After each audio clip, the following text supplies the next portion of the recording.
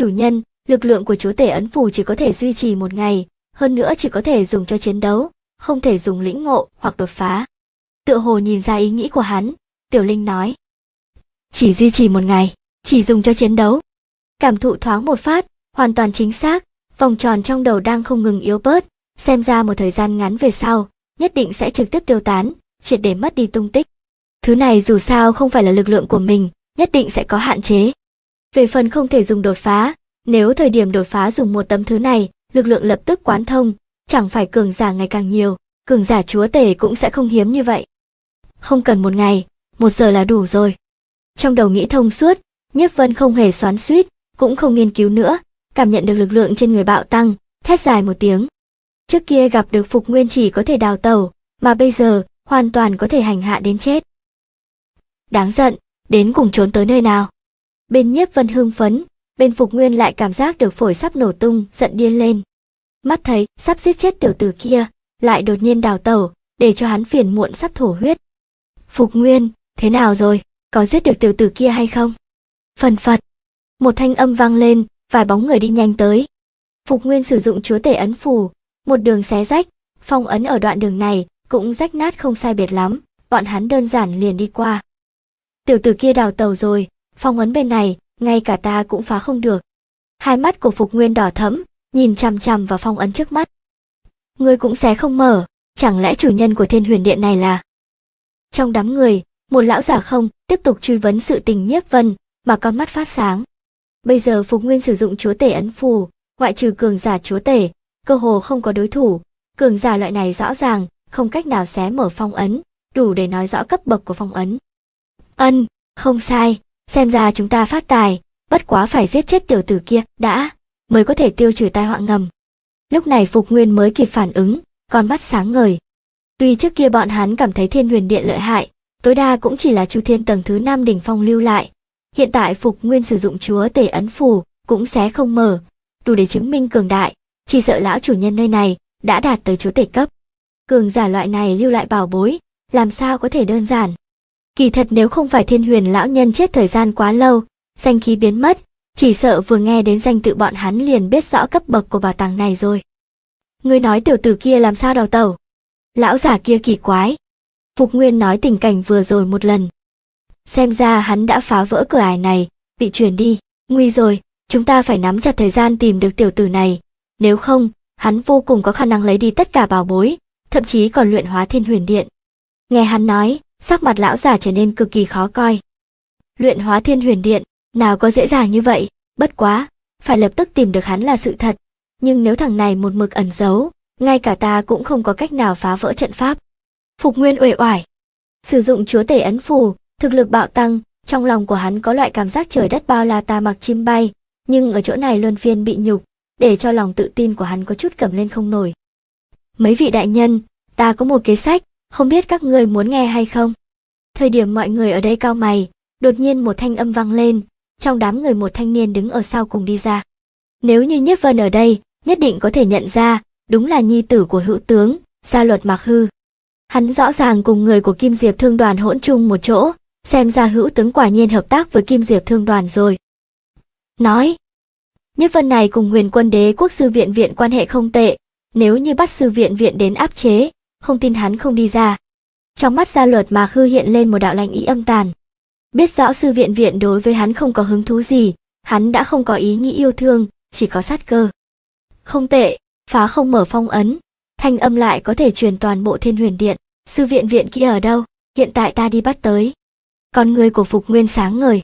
Người của Kim Diệp thương đoàn có thể triệu tập thiên tài 16 nước lại buộc bọn hắn dùng độc dược, đủ thấy tàn nhẫn, bắt lấy con gái của thừa tướng áp chế, đối với bọn họ mà nói không đáng kể chút nào. Nàng đoán chừng vẫn còn sông cửa, không bằng chộp toàn bộ những người sông cửa kia tới, để cho bọn hắn biết rõ cái giá lớn khi ngỗ nghịch kim diệp thương đoàn. Gia luật Mạc Hư cười lạnh. Đối với thiên tài 16 nước hắn không có chút đồng tình, trái lại còn cảm thấy một khi những người này chết rồi, ngày nổi danh của hắn liền đến, trong nội tâm mơ hồ sinh ra một loại hưng phấn tàn nhẫn. Rất tốt, tàn nhẫn như vậy, phù hợp khẩu vị của ta. Phục Nguyên ở đâu không biết hắn tính toán, nhìn thoáng qua, cười lạnh một tiếng, tiến về phía trước một bước, mạnh mẽ bắn ra ngoài. ầm ầm, rất nhiều cửa khẩu, như bị lưỡi dao sắc bén xé rách, lập tức vỡ ra, rất nhiều tài tuấn trước kia đào tàu, lập tức mất đi trận pháp bảo hộ, hiện ra ở trước mắt bọn hắn. Toàn bộ tới cho ta. Trong mắt hiện lên vẻ tàn nhẫn, Phục Nguyên lần nữa chào một cái, rất nhiều thiên tài ở trước mặt hắn không có sức phản kháng chút nào, đã bị nhốt chặt, cứ thế mà chào qua. Người chính là sư viện viện. Bắt toàn bộ mọi người đến, con mắt của Phục Nguyên rơi vào trên người sư viện viện. Ta là sư viện viện. Biết rõ đối phương tìm nàng khẳng định không có chuyện tốt, sư viện viện ngược lại có một mặt anh khí, đi tới, không ý kỵ chút nào. Phải là tốt rồi. ầm ầm, thiên địa sơ khai, hỗn độn phân lưu, một bàn tay cực lớn trực tiếp niết nàng ở trong lòng bàn tay. Buông sư viện viện ra. Trong đám người, một thanh niên vọt ra, quát to một tiếng, một thanh trường mâu phá không mà đến. Phạm Trấn Phạm Trấn thân là nhi tử của Trấn Quốc đại tướng quân, am hiểu binh khí dài, một thanh trường thương ở trên không trung, tựa như điện mang, vỡ ra không gian, khí thế to lớn, từng đạo kinh lực tựa như gốc cây già, quay cuồng sôi trào, đâm về phía Phục Nguyên. Không biết tự lượng sức mình, cong ngón búng ra, trường thương vỡ vụn từng khúc, Phạm Chấn đến nhanh, đi lại càng nhanh hơn, phun ra một ngụm máu tươi, trùng trùng điệp điệp ngã trên mặt đất, tựa như một bãi bùn nhão, vừa nhìn liền biết rõ đã mất nửa cái mạng, chậm trễ cứu chữa, khẳng định không sống nổi. Ngươi, đây là tội gì chứ? Chứng kiến bộ dạng của Phạm Chấn, sư viện viện lắc đầu, ánh mắt lộ ra khổ sở. Trước kia nàng chưa bao giờ nhìn Phạm Chấn ở trong mắt, nhưng chẳng biết tại sao trong nháy mắt đối phương xông lên, tiếng lòng phủ đầy bụi không tự chủ được nhúc nhích. Sư viện viện từ nhỏ, bắt đầu tu luyện, chưa bao giờ nghĩ tới chuyện nam nữ, đối với Nhiếp Vân cũng chỉ là hiếu kỳ, mà không có cảm tình giữa nam nữ. Bây giờ nhìn đến Phạm Chấn tình nguyện vì nàng mà chết, con mắt không tự chủ được hồng nhuận phơn phớt. Người bắt ta muốn làm gì? Nói đi, cầu ngươi đừng giết hắn. Quay đầu nhìn về phía Phục Nguyên, sư viện viện quát. Ngươi có thể phối hợp là tốt, loại phế vật này, ta giết hay không giết đều không trọng yếu. Phục Nguyên nhàn nhạt đáp một câu, ngón tay chỉ tới cổ họng của sư viện viện. Nhiếp Vân, ta khuyên ngươi nhanh đi ra, sư viện viện đang ở chỗ này, ta cho ngươi mười tức, nếu như nhìn không thấy người, ngươi chỉ có thể đạt được một cỗ thi thể. Thanh âm như lôi điện, nổ tung tại nguyên chỗ, không ngừng truyền ra xa xa, dọc theo phong ấn lan tràn ra ngoài. Sóng âm cực lớn để cho chút ít tài tuấn vừa bị bắt tới sắc mặt khó coi, buồn nôn không thôi. Nhiếp Vân, ngươi đừng nghe hắn nói, sau khi ngươi thành công, chỉ cần giết người này dù báo thù cho ta là được. Nếu như hiện tại đi ra, mọi người khẳng định chết chung một chỗ, ngược lại vô dụng. Lúc này sư viện viện rốt cục minh bạch mục đích của đối phương, khuôn mặt phấn bạch, vội vàng giống lên.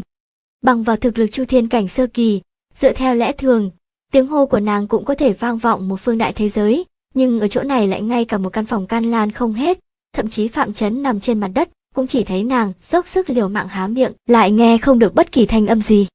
Giống như nàng, bị người phong cấm, chuyển lại không xa. Không cần uống phí tâm cơ, thanh âm của ngươi nói căn bản chuyển không ra ngoài, hắn cũng sẽ không nghe được. Phục Nguyên cười lạnh một tiếng, ngẩng đầu lên, bắt đầu đếm. Một, hai, ba, tám, ha ha, nhiếp vân, còn có hai tức, nếu ngươi không ra, nữ nhân này liền hương tiêu ngọc vẫn. Hai mắt trợn tròn, ngắm nhìn bốn phía, ngón tay của Phục Nguyên bắt đầu tăng lực, máu tươi từ mi tâm nàng chảy ra, tự hồ chỉ cần lực lượng lại tăng thêm một chút, sẽ trực tiếp xuyên phá đầu lâu, bị mất mạng tại chỗ. 9, 10. Thanh âm thứ 10 chấm dứt, Phục Nguyên đang muốn đánh chết sư viện viện, đột nhiên một thanh âm lười biếng truyền tới. Đường đường lão tổ của Kim Diệp Thương Đoàn, sử dụng chúa tể ấn phù, lại dùng một nữ tử uy hiếp ta, có phải có chút xấu hổ hay không? Theo phương hướng thanh âm nhìn lại, chỉ thấy phía trước mọi người chẳng biết lúc nào xuất hiện một thiếu niên, lơ lửng ở giữa không trung, một bộ lười biếng, giống như căn bản không để lão tổ của Kim Diệp Thương Đoàn vào mắt. Không phải, bảo ngươi đừng đi ra sao? Chứng kiến thân ảnh của hắn, sư viện viện cắn chặt răng ngà, cũng không biết là cảm động hay sinh khí. Ngươi dám ra vậy thì tốt rồi. Bàn tay ném sư viện viện ra ngoài, Phục Nguyên cười ha ha, ánh mắt như điện. Hắn bắt sư viện viện chỉ là muốn uy hiếp Nhiếp Vân xuất hiện, hiện tại người xuất hiện, còn muốn giết nàng, vậy thì xấu hổ chết người ta rồi. Ta ra tự nhiên là tử kỳ của ngươi. Nhiếp Vân duỗi lưng, từng bước một đi tới. Ngươi cũng sử dụng chúa tể ấn phù. Hắn đi tới, không gian chung quanh tầng tầng vỡ vụn, một cổ lực lượng vô cùng cường đại không cách nào áp chế.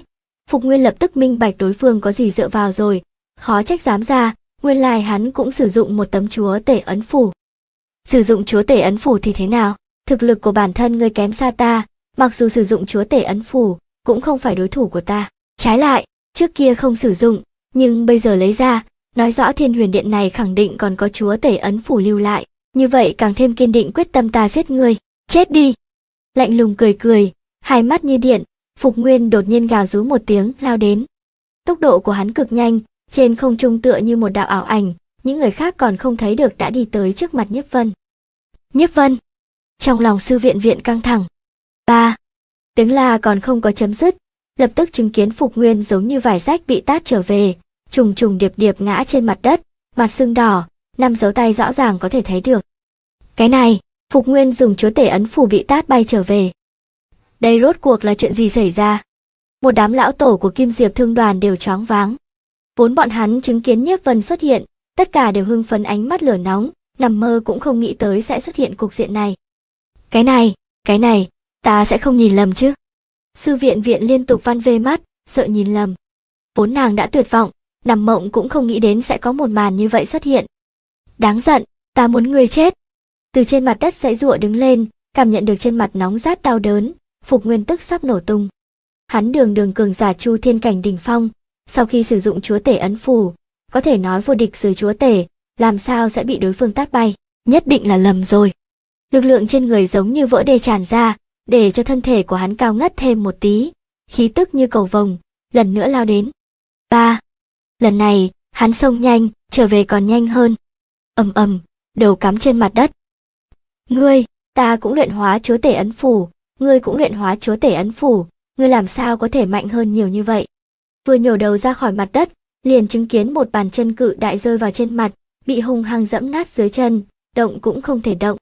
Cái bàn chân này tựa như một đại thế giới chấn áp hắn, lực lượng toàn thân bị giam cầm, không có chút năng lực phản kháng nào. Tuy cũng luyện hóa chúa tể ấn phủ, nhưng hắn cảm giác ở trước mặt đối phương giống như hải tử, không có bất kỳ biện pháp nào. Vì cái gì ta mạnh hơn ngươi? Bởi vì ta lĩnh ngộ thiên đạo bài danh phía trên nhiều hơn ngươi. Khẽ cười một tiếng, dưới chân nhiếp vân dùng sức. Choàng! Đầu của Phục Nguyên lập tức nổ tung, sử dụng chúa tể ấn phù ẩn chứa lực lượng như phong bạo lan tràn. Thẳng đến sắp chết, hắn cũng không tin một tiểu tử chỉ có chu thiên cảnh sơ kỳ, làm sao có thể lĩnh ngộ thiên đạo bài danh phía trên nhiều hơn hắn. Chết rồi! Phục Nguyên chết rồi! Một màn này rơi vào trong mắt mọi người kim diệp thương đoàn, cả đám đều điên rồi. Vốn bọn hắn cho rằng Phục Nguyên sử dụng chúa tể ấn phủ đã vô địch dưới chúa tể, không còn đối thủ, nằm mộng cũng không nghĩ đến. Thiếu niên trước mắt này, nhẹ nhõm liền nghiền áp hắn, tệ tay giết chết. Cái này, không có khả năng. Chúa tể ấn phù là căn bản của kim diệp thương đoàn bọn hắn, chỉ có một tấm, mạo hiểm sử dụng là muốn đạt được càng nhiều bảo vật nữa, nằm mơ cũng không nghĩ đến hiệu quả gì cũng không có đạt tới. Ngược lại người sử dụng tử vong. Không có vì cái gì cả, muốn giết người khác, thì phải có chuẩn bị bị người khác giết chết. Mạnh được yếu thua, ai thực lực mạnh, người đó có quyền nói chuyện, đây mới là vương đạo. Ở trong tiếng hử lạnh, bàn tay của Nhiếp Vân chảo một cái, một lão tổ của Kim Diệp Thương đoàn bị nắm qua. Thông đạo tiến vào tàng nguyệt trí tôn vực ở đâu? Ngón tay điểm một cái, một đạo huyền ảo tiến vào trong óc đối phương, ngay sau đó một đạo tin tức hữu dụng lan tràn ra, tiến vào lòng bàn tay. Rất tốt. Tiêu hóa tin tức, Nhiếp Vân lộ ra mỉm cười. Quả nhiên là thông đạo tiến vào tàng nguyệt trí tôn vực, chỉ cần xuôi theo lộ tuyến đi về phía trước, dùng không được bao lâu liền có thể đi vào vị diện kia. Giữ lại các ngươi không có ý nghĩa gì, có thể đi chết rồi. Quay đầu, con mắt nhìn về phía mọi người còn lại của Kim Diệp Thương đoàn, mấy đạo lực lượng cường đại oanh kích mà đi, những cường giả quát tháo đại hiên hỗn độn giới này, ngay cả phản ứng cũng không kịp, toàn bộ nổ thành thịt nát, hồn phi phách tán, triệt để tử vong. Những người này dám xếp đặt thiết kế hắn, đối với hắn sinh ra sát cơ, liền không cần phải lưu lại. Nhổ cỏ không trừ gốc, qua gió xuân lại mọc, không giải quyết tai họa ngầm, phiền toái chỉ là mình. Ngươi, ngươi thật là nhất vân. Hết thảy kết thúc, tất cả mọi người của Kim Diệp thương đoàn bị đánh chết. Lúc này sư viện viện mới kịp phản ứng, dùng sức dụi mắt, không thể tin được mình chứng kiến hết thảy. Tuy nàng biết Nhiếp Vân không kém, nhưng nằm mơ cũng không nghĩ tới lợi hại như vậy. Một người tiêu diệt toàn bộ Kim Diệp thương đoàn, hắn, làm sao làm được? Người đứng lên đi. Không để ý tới mọi người khiếp sợ, Nhiếp Vân nhẹ nhàng cười cười, ngón tay điểm một cái, một đạo mộc sinh chi khí dũng mãnh vào trong cơ thể Phạm Chấn. Phạm Chấn vốn hấp hối tùy thời sẽ chết, thời gian nháy con mắt liền khôi phục lại, có chút mê, hoặc đứng dậy, tựa hồ đến bây giờ còn không có minh bạch chuyện gì xảy ra. Tốt rồi, chư vị, các ngươi được cứu trợ, Kim Diệp thương đoàn sẽ không tìm phiền toái nữa, nhanh trở về đi. Nhẹ nhàng phất một cái, thanh trừ toàn bộ trận pháp mà Kim Diệp thương đoàn lưu lại, một quyền oanh kích, hỗn độn khí lưu lập tức xuất hiện một thông đạo ổn định. Cuối thông đạo đúng là đại hiên hỗn độn giới. Sử dụng chúa tể ấn phù, có thể du lịch hỗn độn, tuy không thể thuấn di, nhưng có thể ở trong đó mở ra thông đạo, tốc độ nhanh để cho người tức lộn ruột. Được cứu rồi. Những tài tuấn này đều vì bảo tàng mà đến, kết quả bảo tàng không có lấy tới, còn xém chết mất. Giờ phút này tất cả đều có loại cảm giác sống sót sau tai nạn. Nhìn về phía Nhất Vân cả đám tràn đầy cảm kích, đồng loạt đứng dậy, bay về phía thông đạo. Bọn họ đều biết Nhiếp Vân làm như vậy là hạ lệnh chụp khách, tuy trong nội tâm hâm mộ, lại không ghen ghét, nhao nhao ly khai.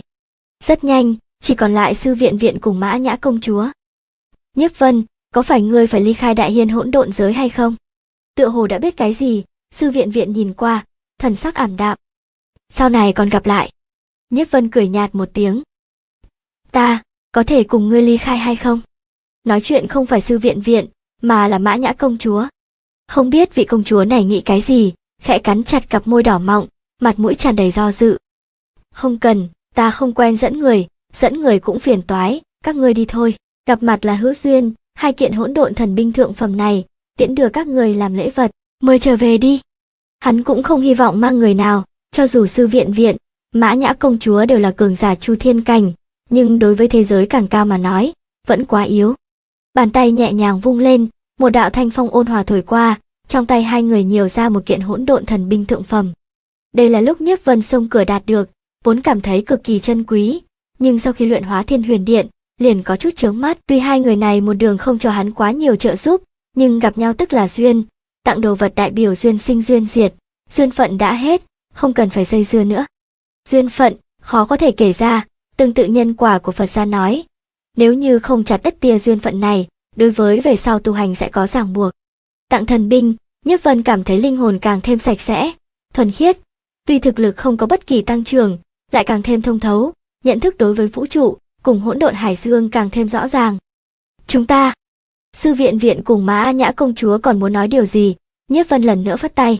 Hai người lập tức bị một trận gió lốc bao khỏa, dọc theo thông đạo bay đi, thời gian nháy con mắt liền rơi vào đại hiên hỗn độn giới. Tốt rồi, nên lấy thiên huyền điện đi rồi. Đưa tất cả mọi người đi, nhẹ nhàng khẽ động, Nhiếp Vân nhảy ra băng phách hồn yên, nhìn cung điện cực lớn trước mắt, mỉm cười. ầm ầm, cung điện đung đưa, thời gian nháy con mắt liền thu nhỏ lại, hóa thành một đạo quang mang chui vào thân thể hắn. Hỗn độn hải dương ở chung quanh, bởi vì cung điện thu nhỏ lại mà bắt đầu kích động, ở nguyên chỗ tạo thành một hắc động thật lớn, vô số hỗn độn khí lưu giống như triều tịch kích động. Nếu như lúc này có cường giả chu thiên cảnh đi ngang qua, tuyệt đối sẽ bị triều tịch chèn chết, không lưu một tia dấu vết. Thiên huyền điện thật sự quá mạnh mẽ, mặc dù bản thân hỗn độn hải dương cũng không thể không thừa nhận sự hiện hữu của nó, đột nhiên bị lấy đi, dẫn phát hỗn độn triều tịch, chỉ sợ không có vạn năm là rất khó triệt để bình phục. Đi! Thân thể khẽ động, cổ long chủ xuất hiện lần nữa, đứng ở trên bong thuyền. Oanh! Một tiếng, phá vỡ hải dương, dựa theo phương hướng đặc thù nhanh chóng xông về trước đi. Tào Nguyệt Chí Tôn vực cách nơi này cực kỳ xa, nếu như dựa theo tốc độ phi hành của hắn trước kia, không có vài chục năm là khó có thể đến, hiện tại thừa dịp lực lượng của chúa tể ấn phủ không có triệt để biến mất, trực tiếp mở thông đạo đi qua, hoàn toàn có thể tiết kiệm vài chục năm này. Hô! Mấy chục cái hô hấp sau, không biết phi hành bao xa, một thế giới cự đại chậm rãi xuất hiện ở trước mặt. Còn không có tiến vào trong đó, liền cảm thấy một cổ áp lực khổng lồ đánh úp lại, mặc dù sử dụng chúa tể ấn phù, cũng cảm thấy tim đập nhanh. Chủ nhân, đây là lực uy hiếp của thiên đạo tà nguyệt trí tôn vực, người vẫn là chờ lực lượng của chúa tể ấn phù hoàn toàn tán giật lại vào, bằng không thì nhất định sẽ bị thiên đạo phát hiện, nếu như bị coi là người xâm nhập, vậy thì phiền toái. Tinh thần khẽ động, Tiểu Linh đột ngột xuất hiện ở trên cổ Long Chu, thanh âm vang lên. Tiểu Linh là thiên huyền lão nhân luyện chế, đối với Tàng Nguyệt Chí Tôn vực biết cực kỳ rõ ràng, để cho hắn đi ra giới thiệu kinh nghiệm, có thể miễn trừ không ít phiền toái. Ân, vừa vặn ta thừa dịp này nghiên cứu thiên huyền điện thoáng một phát, nhìn xem thiên huyền lão nhân đến cùng để lại cái gì. Thực lực của hắn bây giờ, năng lực khống chế chúa tể ấn phù cực yếu, không cách nào khống chế lực lượng không ngừng tán giật, tùy tiện nhảy vào tầng nguyệt trí tôn vực, nhất định sẽ khiến người khác kiêng kỵ, dẫn xuất không ít phiền toái, như vậy còn không bằng trước đợi ở bên ngoài, chờ lực lượng triệt để tiêu tán lại đi vào. Trước kia, bởi vì sốt ruột tìm kiếm trí tôn vực, không nhìn kỹ thiên huyền điện đến cùng lưu lại cái gì, vừa vặn thừa dịp này nhìn xem. Thân thể nhoáng một cái, cổ thuyền biến mất, thiên huyền điện biến thành một hạt bụi không có ý nghĩa trong hỗn độn, hắn xuất hiện ở trong đại điện nguy nga. Chủ nhân, đây là tàng binh khố của thiên huyền điện, bên trong chứa binh khí, tuy lão chủ nhân không dùng đến, nhưng là hắn nhiều năm sưu tập đoạt được, đủ để khiếp sợ chư thiên. Biết rõ ý nghĩ của hắn, Tiểu Linh ở phía trước dẫn đường, thời gian qua một lát, đi vào một đại điện rộng rãi. Cái cung điện này đơn thuần diện tích mà nói, so với toàn bộ Bắc Đầu Tinh cung cũng phải lớn hơn, tựa như một thế giới, bình nguyên, sơn mạch, dòng sông. Nếu không phải vừa rồi Tiểu Linh đẩy cửa ra, cho hắn biết tình huống trong điện, rất khó tưởng tượng, đây chỉ là cung điện bình thường trong Thiên Huyền Điện. Đại điện trống không, Nhiếp Vân vừa tiến vào trong đó, con mắt lập tức bị đài cao đứng sừng sững ở trên sơn mạch hấp dẫn. Thân thể tu một cái, một người một linh đi vào trên đài cao. Đài cao kiến trúc xảo diệu, linh khí cả đại điện hội tụ chung một chỗ, ở chỗ giữa nhất có ba khung binh khí, phía trên chỉ có ba kiện binh khí. Tàng binh khố, chỉ có ba kiện. Nhất Vân quay đầu nhìn một vòng, phát hiện toàn bộ đại điện chỉ có ba kiện binh khí này, nhịn không được hỏi. Thiên huyền lão nhân bất kể nói thế nào, cũng là cường giả chúa tể, sao tảng binh khố lớn như vậy chỉ để vào ba kiện binh khí. Cái này không khỏi quá keo kiệt đi. Binh khí quý tinh bất quý đa, cho dù có hàng tỷ kiện, không có một kiện có thể dùng, đối với ngươi, mà nói cũng là phế vật. Tiểu Linh nói. Cũng phải. Nhiếp Vân gật đầu. Hoàn toàn chính xác, nếu như bàn về gia thế mà nói, hắn thân là thiên địa lục đạo đệ nhất cường giả, của cải không ít. Muốn binh khí, đừng nói hơn vạn kiện, cho dù 10 vạn kiện, trăm vạn kiện, ngàn vạn kiện cũng có thể đơn giản lấy ra. Nhưng những binh khí này tối đa chỉ là linh khí, tiên khí, đối với hắn đã không có bất cứ tác dụng gì. Không nói những thứ này, mặc dù thự quang kiếm mạnh nhất của hắn, trên cơ sở thực lực lúc trước dùng, không có vấn đề gì, nhưng một khi sử dụng chúa tể ấn phủ, liền vô dụng, ngay cả da cũng chảm không rách, tiện tay có thể bẻ gãy, sẽ có bao nhiêu tác dụng. Ba thanh kiếm này là binh khí lúc trước lão chủ nhân dùng qua, từng dùng chúng rong rồi thiên địa, xông ra uy danh hiển hách. Tiểu Linh tiến về phía trước một bước, đi tới trước một giá đỡ. Chuôi kiếm này gọi chi thu, là lúc lão chủ nhân không có đạt tới chúa tể cảnh dùng qua, hỗn độn thần binh đỉnh phong, một kiếm phiêu linh, là diệp chi thu, vừa mỏng vừa nhanh, giết người vô hình, năm đó lão chủ nhân cực kỳ ưa thích. Chuôi trường thương ái này, gọi bá lưu, là lão chủ nhân vừa mới tấn cấp chúa tể cảnh dùng, cấp bậc ta không biết, chỉ biết là hỗn độn thần binh đỉnh phong gặp gỡ cũng sụp đổ, binh khí hệ sức mạnh thuần khiết, một thương đâm ra, quỷ thần khó ngăn cản.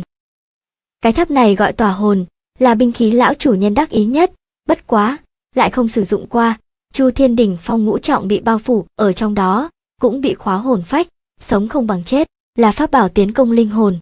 Bàn tay chỉ, giới thiệu ba bảo vật ở trên kệ, tiểu linh mục quang thiểm thước, sắc mặt hưng phấn.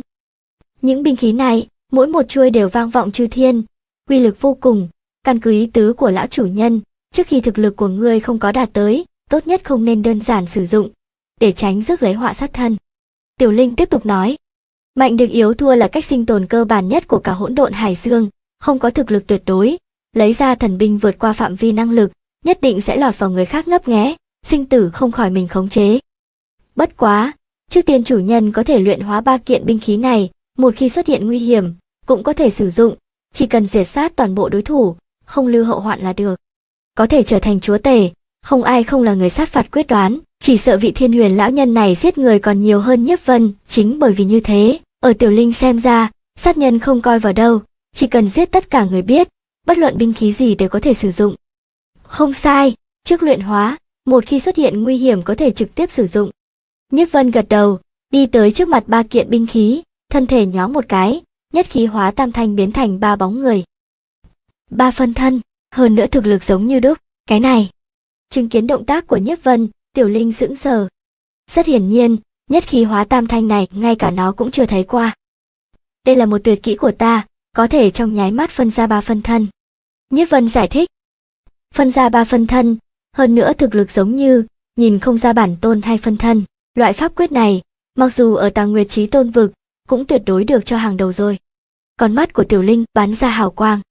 Tân chủ nhân trước mắt này, tuy thực lực kém xa lão chủ nhân năm đó, nhưng chẳng biết tại sao, nó thủy chung cảm thấy không tầm thường, thật giống như cự long ở trong hồ nước, thẳng đến một ngày, nhất định có thể bay lên thăng thiên, tản mát ra hào quang cùng huy hoàng. Nhất Vân không có nói tiếp, ba phân thân luyện hóa ba thần binh. Hiệu quả của chúa tể ấn phủ còn không có chấm dứt, luyện hóa vô cùng đơn giản, rất nhanh ba kiện binh khí liền dung nhập thân hình, trở thành binh khí của hắn. Hỗn độn thần binh đỉnh phong, thật đáng sợ. Cánh tay đưa ra, chi thu kiếm giống như gió nhẹ vạch tới, không gian trước mặt như giấy mỏng xé mở, nghe không được chút thanh âm, không tận mắt thấy, căn bản không thể tưởng được trong gió nhẹ mang theo ý tiêu sát hẳn phải chết.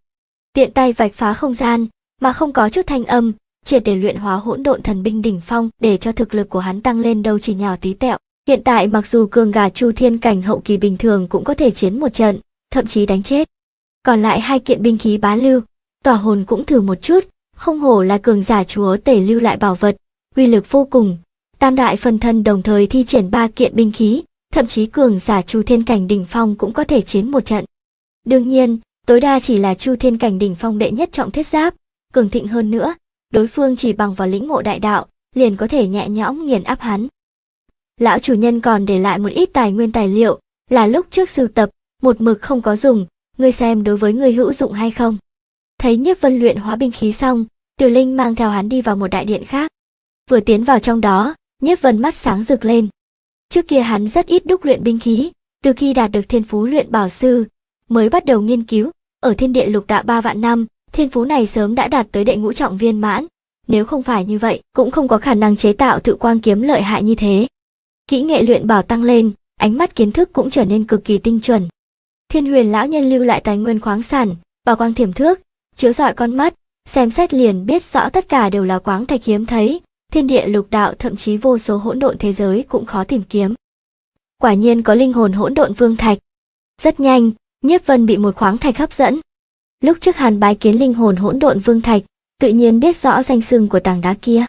Cái tảng đá này không có giống như Tuyết Tĩnh Nhi, biến thành hình người, cũng không có nghĩa là cấp bậc thấp, mà là bị người dùng đại thủ pháp phong ấn. Mặc dù như thế, vẫn mang theo một cổ linh hồn trùng kích đậm đặc, làm cho tâm thần người kích động.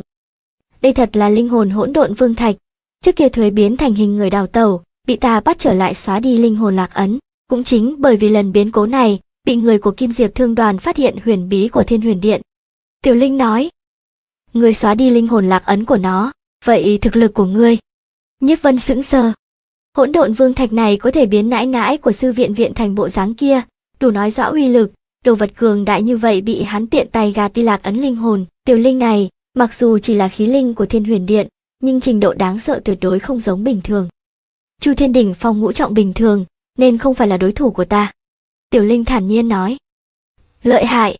Nhất Vân tán dương một tiếng, trong đầu có một đạo điện quang hiện lên, nhớ tới một sự kiện, cố nén kích động hỏi.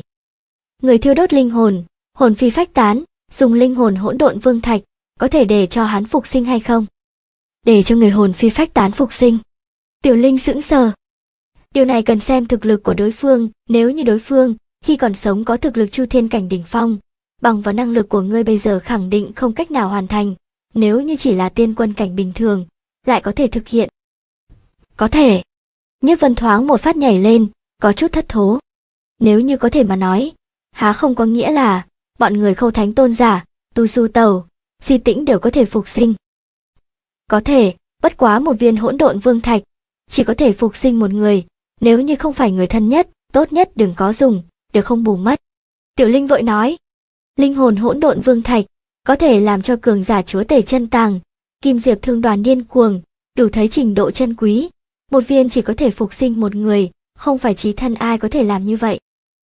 Vậy, linh hồn hóa thân thiên đạo có thể phục sinh không? Nhiếp vân run rẩy.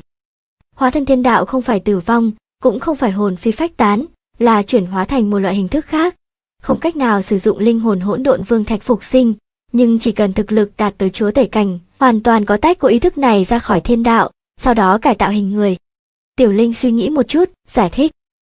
Chúa tể có thể tách ý thức ra khỏi thiên đạo. Ân, chúa tể tu luyện tam thiên đại đạo viên mãn, chóc bong thiên đạo vô cùng đơn giản. Năm đó lão chủ nhân là lấy rất nhiều thiên đạo mới luyện hóa ta thành hình. Mặt mũi Tiểu Linh tràn đầy kiêu ngạo. Thì ra là thế, Nguyệt Nhi được cứu rồi. Nhiếp Vân siết chặt nắm đấm. Tốn sức vất vả rời lục đạo nghĩ, biện pháp tiến vào tàng nguyệt trí tôn vực, chính là vì tìm kiếm phương pháp giải cứu đạm đài lang nguyệt, không nghĩ tới Tiểu Linh đã cho đáp án chuẩn xác. Chúa tể cảnh, ta nhất định phải mau chóng đạt tới. Trong nội tâm âm thầm hạ thệ ngôn, dứt bỏ cảm xúc mặt trái, Nhiếp Vân lần nữa khôi phục lại bình tĩnh, nhìn linh hồn hỗn độn vương thạch trước mắt. Vương thạch này, ta trước sử dụng. Muốn sử dụng linh hồn hỗn độn vương thạch, phải có đủ thực lực, hoàn toàn khống chế linh hồn đại đạo. Tiểu Linh sững sờ, không có trả lời hắn kỳ quái, thân thể khẽ động, tay Nhiếp vần khẽ vẫy, trước mặt xuất hiện một đạo linh hồn trường hà, nhẹ nhàng chào một cái, Niết Vương Thạch ở trong lòng bàn tay. Vẫn là trước phục sinh Di Tĩnh.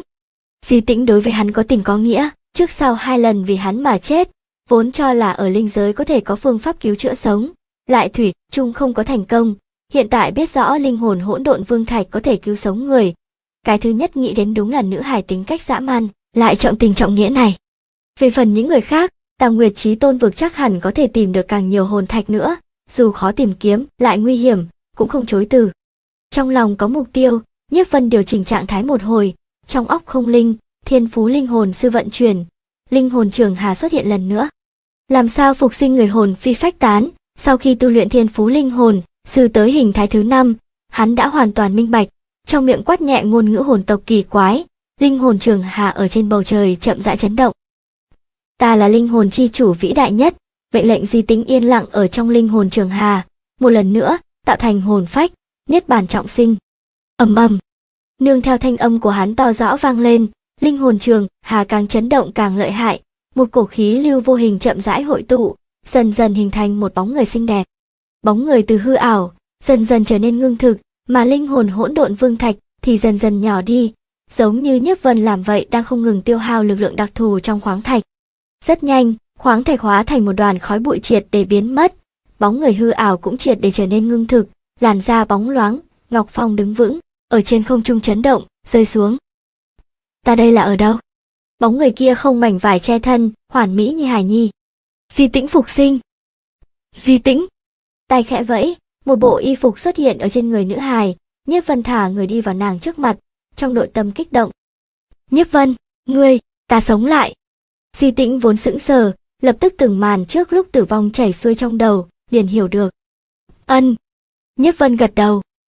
Đa tạ. Tuy không biết phục sinh hao tốn cái giá lớn như thế nào, nhưng Di Tĩnh biết rõ, khẳng định xa xỉ, tràn đầy cảm kích. Ta nên cảm tạ ngươi, nếu như không phải ngươi, ta đã sớm chết rồi. Khẽ cười một tiếng, ôm nữ hài vào trong ngực. Hắn và ca ca của nàng là đối đầu, nữ nhân này lại hai lần cứu mình, phần chân tình này sớm đã cắm rễ ở trong nội tâm, không cách nào xóa đi. Thực lực ngươi bây giờ quá yếu, đây là một ít tài nguyên tu luyện cần có, tranh thủ sớm ngày đột phá, đạt tới chu thiên cảnh. Nhẹ nhàng phất một cái, trước mặt nữ hài xuất hiện một đống tài nguyên, Nhất Vân cười nói. Trước khi di tĩnh chết, chỉ là đoạt thêm tạo hóa đệ lục trọng, cách chu thiên cảnh hiện tại tranh lệch thật sự nhiều lắm, bằng vào thực lực của Nhất Vân, có thể lần nữa chế tạo cho nàng một bộ thân thể, thừa nhận lực lượng càng mạnh hơn nữa, trực tiếp biến thành cao thủ chu thiên cảnh, nhưng hắn không muốn làm như vậy. Thứ nhất, luyện chế thân thể khẳng định không linh hoạt bằng bản thể. Thứ hai, luyện chế thân thể tương đương giam cầm tu vi, trừ khi luyện chế lại, nếu không rất khó có đột phá. Lại nói, hiện tại cảnh giới linh hồn của nàng quá yếu, mặc dù trong một thân thể cường hãn cũng không cách nào khống chế. Chu thiên cảnh. Di tĩnh không hiểu ra sao. Ngươi lập tức sẽ biết. Ngón tay điểm một cái, một tia trí nhớ từ ngón tay của nhiếp vân tiến vào trong óc đối phương. Loại phương pháp truyền tống trí nhớ này yêu cầu linh hồn người truyền tống cực kỳ cao, hơn nữa cần đối phương cực kỳ tín nhiệm hắn mới có thể hoàn thành. Hai điều kiện này đều có đủ, Nhiếp Vân thời gian nháy con mắt liền, đưa tới tất cả trí nhớ sau khi Di Tĩnh chết. Chu Thiên Cảnh, nguyên lai người đã trải qua nhiều như vậy. Thì Thảo tự nói, Di Tĩnh nhìn về phía Nhiếp Vân, trong đôi mắt đẹp mang theo kính sợ cùng sùng bái. Nàng sớm biết thiếu niên trước mắt này, bất phàm, hy vọng hắn là đại anh hùng đỉnh thiên lập địa, lại không nghĩ rằng, hắn chẳng những là anh hùng, còn vừa xa nàng tưởng tượng. Yên tâm đi, ta sẽ không kéo chân sau của ngươi. Nghĩ đến người trong lòng thành tựu như thế, Di Tĩnh gật đầu, trong nội tâm âm thầm thề. Tính cách nàng ham chơi, khó có thể quyết tâm tu luyện, chính bởi vì như thế, Di Hoa đối với nàng không thể làm gì, mà bây giờ, vì đuổi theo bước chân người trong lòng, nàng tình nguyện cố gắng tu luyện. Thấy bộ dáng rất nghiêm túc của nàng, Nhất Vân nở nụ cười. Nàng phục sinh lần nữa, Nhất Vân hoàn thành một tâm nguyện trong lòng, nhẹ nhàng thở ra, cùng Tiểu Linh lần nữa vòng vo vài vòng ở trong Thiên Huyền Điện. Thiên Huyền lão nhân cho rằng, cường giả chính thức dựa vào là bản thân, cho nên Thiên Huyền Điện không có lưu lại quá nhiều bảo vật. Dù vậy, Nhiếp Vân cũng cảm thấy rất thỏa mãn, đi dạo xong cả Thiên Huyền Điện, lợi dụng tài nguyên khoáng sản luyện chế cổ long chu cùng tự quang kiếm lại lần nữa, thẳng đến cả hai đạt tới thượng phẩm hỗn độn thần binh đỉnh phong, lúc này mới dừng tay. Lúc này thời gian cũng đi qua vài ngày, lực lượng của chúa tể ấn phủ biến mất từ lâu, một người một kiếm, lặng yên không một tiếng động tiến nhập Tà Nguyệt Chí Tôn vực. Tà Nguyệt Chí Tôn vực, Đại Mạc Thành. Hai thanh niên đi ở trên đường phố, nhìn dòng người chen chúc trước mắt. Ca ca, Tà Nguyệt Chí Tôn vực thật lợi hại a, người bình thường nhất rõ ràng đều là xích thiên cảnh, Chu thiên cảnh sơ kỳ ở chỗ này chỉ là kế cuối. Nhiếp đồng trừng lớn hai mắt. Hắn đã thuận lợi xuất quan, thành công đột phá bình cảnh đạt tới chu thiên cảnh sơ kỳ. Vốn tưởng rằng loại thực lực này, ở tà nguyệt trí tôn vực ít nhất có thể ở trình độ trung bình, kết quả lại bất đắc dĩ phát hiện, ở thế giới này, chu thiên cảnh sơ kỳ chỉ là kế cuối, chỉ có đạt tới đỉnh phong mới tính toán chân chính có địa vị. So sánh với nơi đây, trước kia thiên địa lục đạo, thậm chí đại hiên hỗn độn giới, đều giống như thâm sơn cùng cấp Thực lực cường thì thôi, mấu chốt là không gian áp bách ở nơi này không khỏi quá lớn a. đừng nói thực lực, tinh thần của ta chỉ có thể lan tràn phương viên hơn 100 mét. Lực áp bách không gian của thế giới này thật sự quá lớn, đừng nói nhiếp đồng, vừa mới đột phá, ngay cả nhiếp vân, ở chỗ này cũng không thể phi hành, linh hồn ly khai thân thể, tối đa lan tràn phương viên vài trăm mét, lại xa liền bất lực rồi. Loại tình huống này ở lúc vừa tới quả thực làm hắn hoảng sợ, qua vài ngày mới tính toán thích ứng được. Hai vị thiếu gia, ở chỗ này, chỉ có thực lực Chu Thiên đỉnh phong, hơn nữa đạt được tư cách Tà Nguyệt tướng sĩ mới có thể phi hành, nếu không chỉ có thể đi bộ. Hiện tại Tiểu Linh hóa thành hạ nhân của bọn hắn, hai người thì giả dạng thành thiếu gia đi ra du ngoạn. Tà Nguyệt tướng sĩ, đó là cái gì? Tà Nguyệt tướng sĩ là một đám người đặc thù của Tà Nguyệt Chí Tôn vực, chỉ có thực lực Chu Thiên cảnh đỉnh phong mới có thể khảo hạch, xác suất thành công cực thấp. Một khi thành công, vô luận thân phận địa vị đều có tăng lên thật lớn. Tỉ như ở khách sạn, có thể hưởng thụ giá ưu đãi, một ít vật phẩm chân quý, cũng có thể sớm đạt được tư cách mua sắm. Thân phận này có chút tương tự quý tộc ở Đại Hiên hỗn độn giới. Tiểu Linh nghe Nhiếp Vân giới thiệu qua Đại Hiên hỗn độn giới, đối với sự tình quý tộc cũng có chỗ hiểu rõ. Thì ra là thế, Chu Thiên cảnh đỉnh phong, ai, chúng ta còn không có tư cách khảo hạch. Nhiếp Vân một hồi phiền muộn. Đạt tới Chu Thiên cảnh đỉnh phong mới có thể khảo hạch, hiện tại hắn chỉ là Chu Thiên cảnh sơ kỳ, mặc dù muốn khảo hạch cũng không có tư cách. Kỳ thật cũng không phải đạt tới Chu Thiên cảnh đỉnh phong, mà là có được thực lực Chu Thiên cảnh đỉnh phong. Bất quá, hiện tại chủ nhân hoàn toàn chính xác, không thể khảo hạch, dùng tiềm lực của người, ít nhất phải đạt tới Chu Thiên cảnh trung kỳ mới được.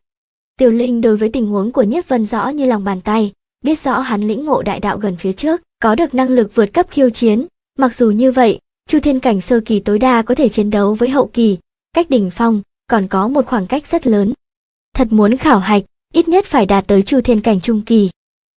Đừng nghĩ khảo hạch nữa, vẫn là nghĩ biện pháp kiếm ít tiền à, ngay cả một xu cũng không có, đã vài ngày chưa ăn cơm rồi.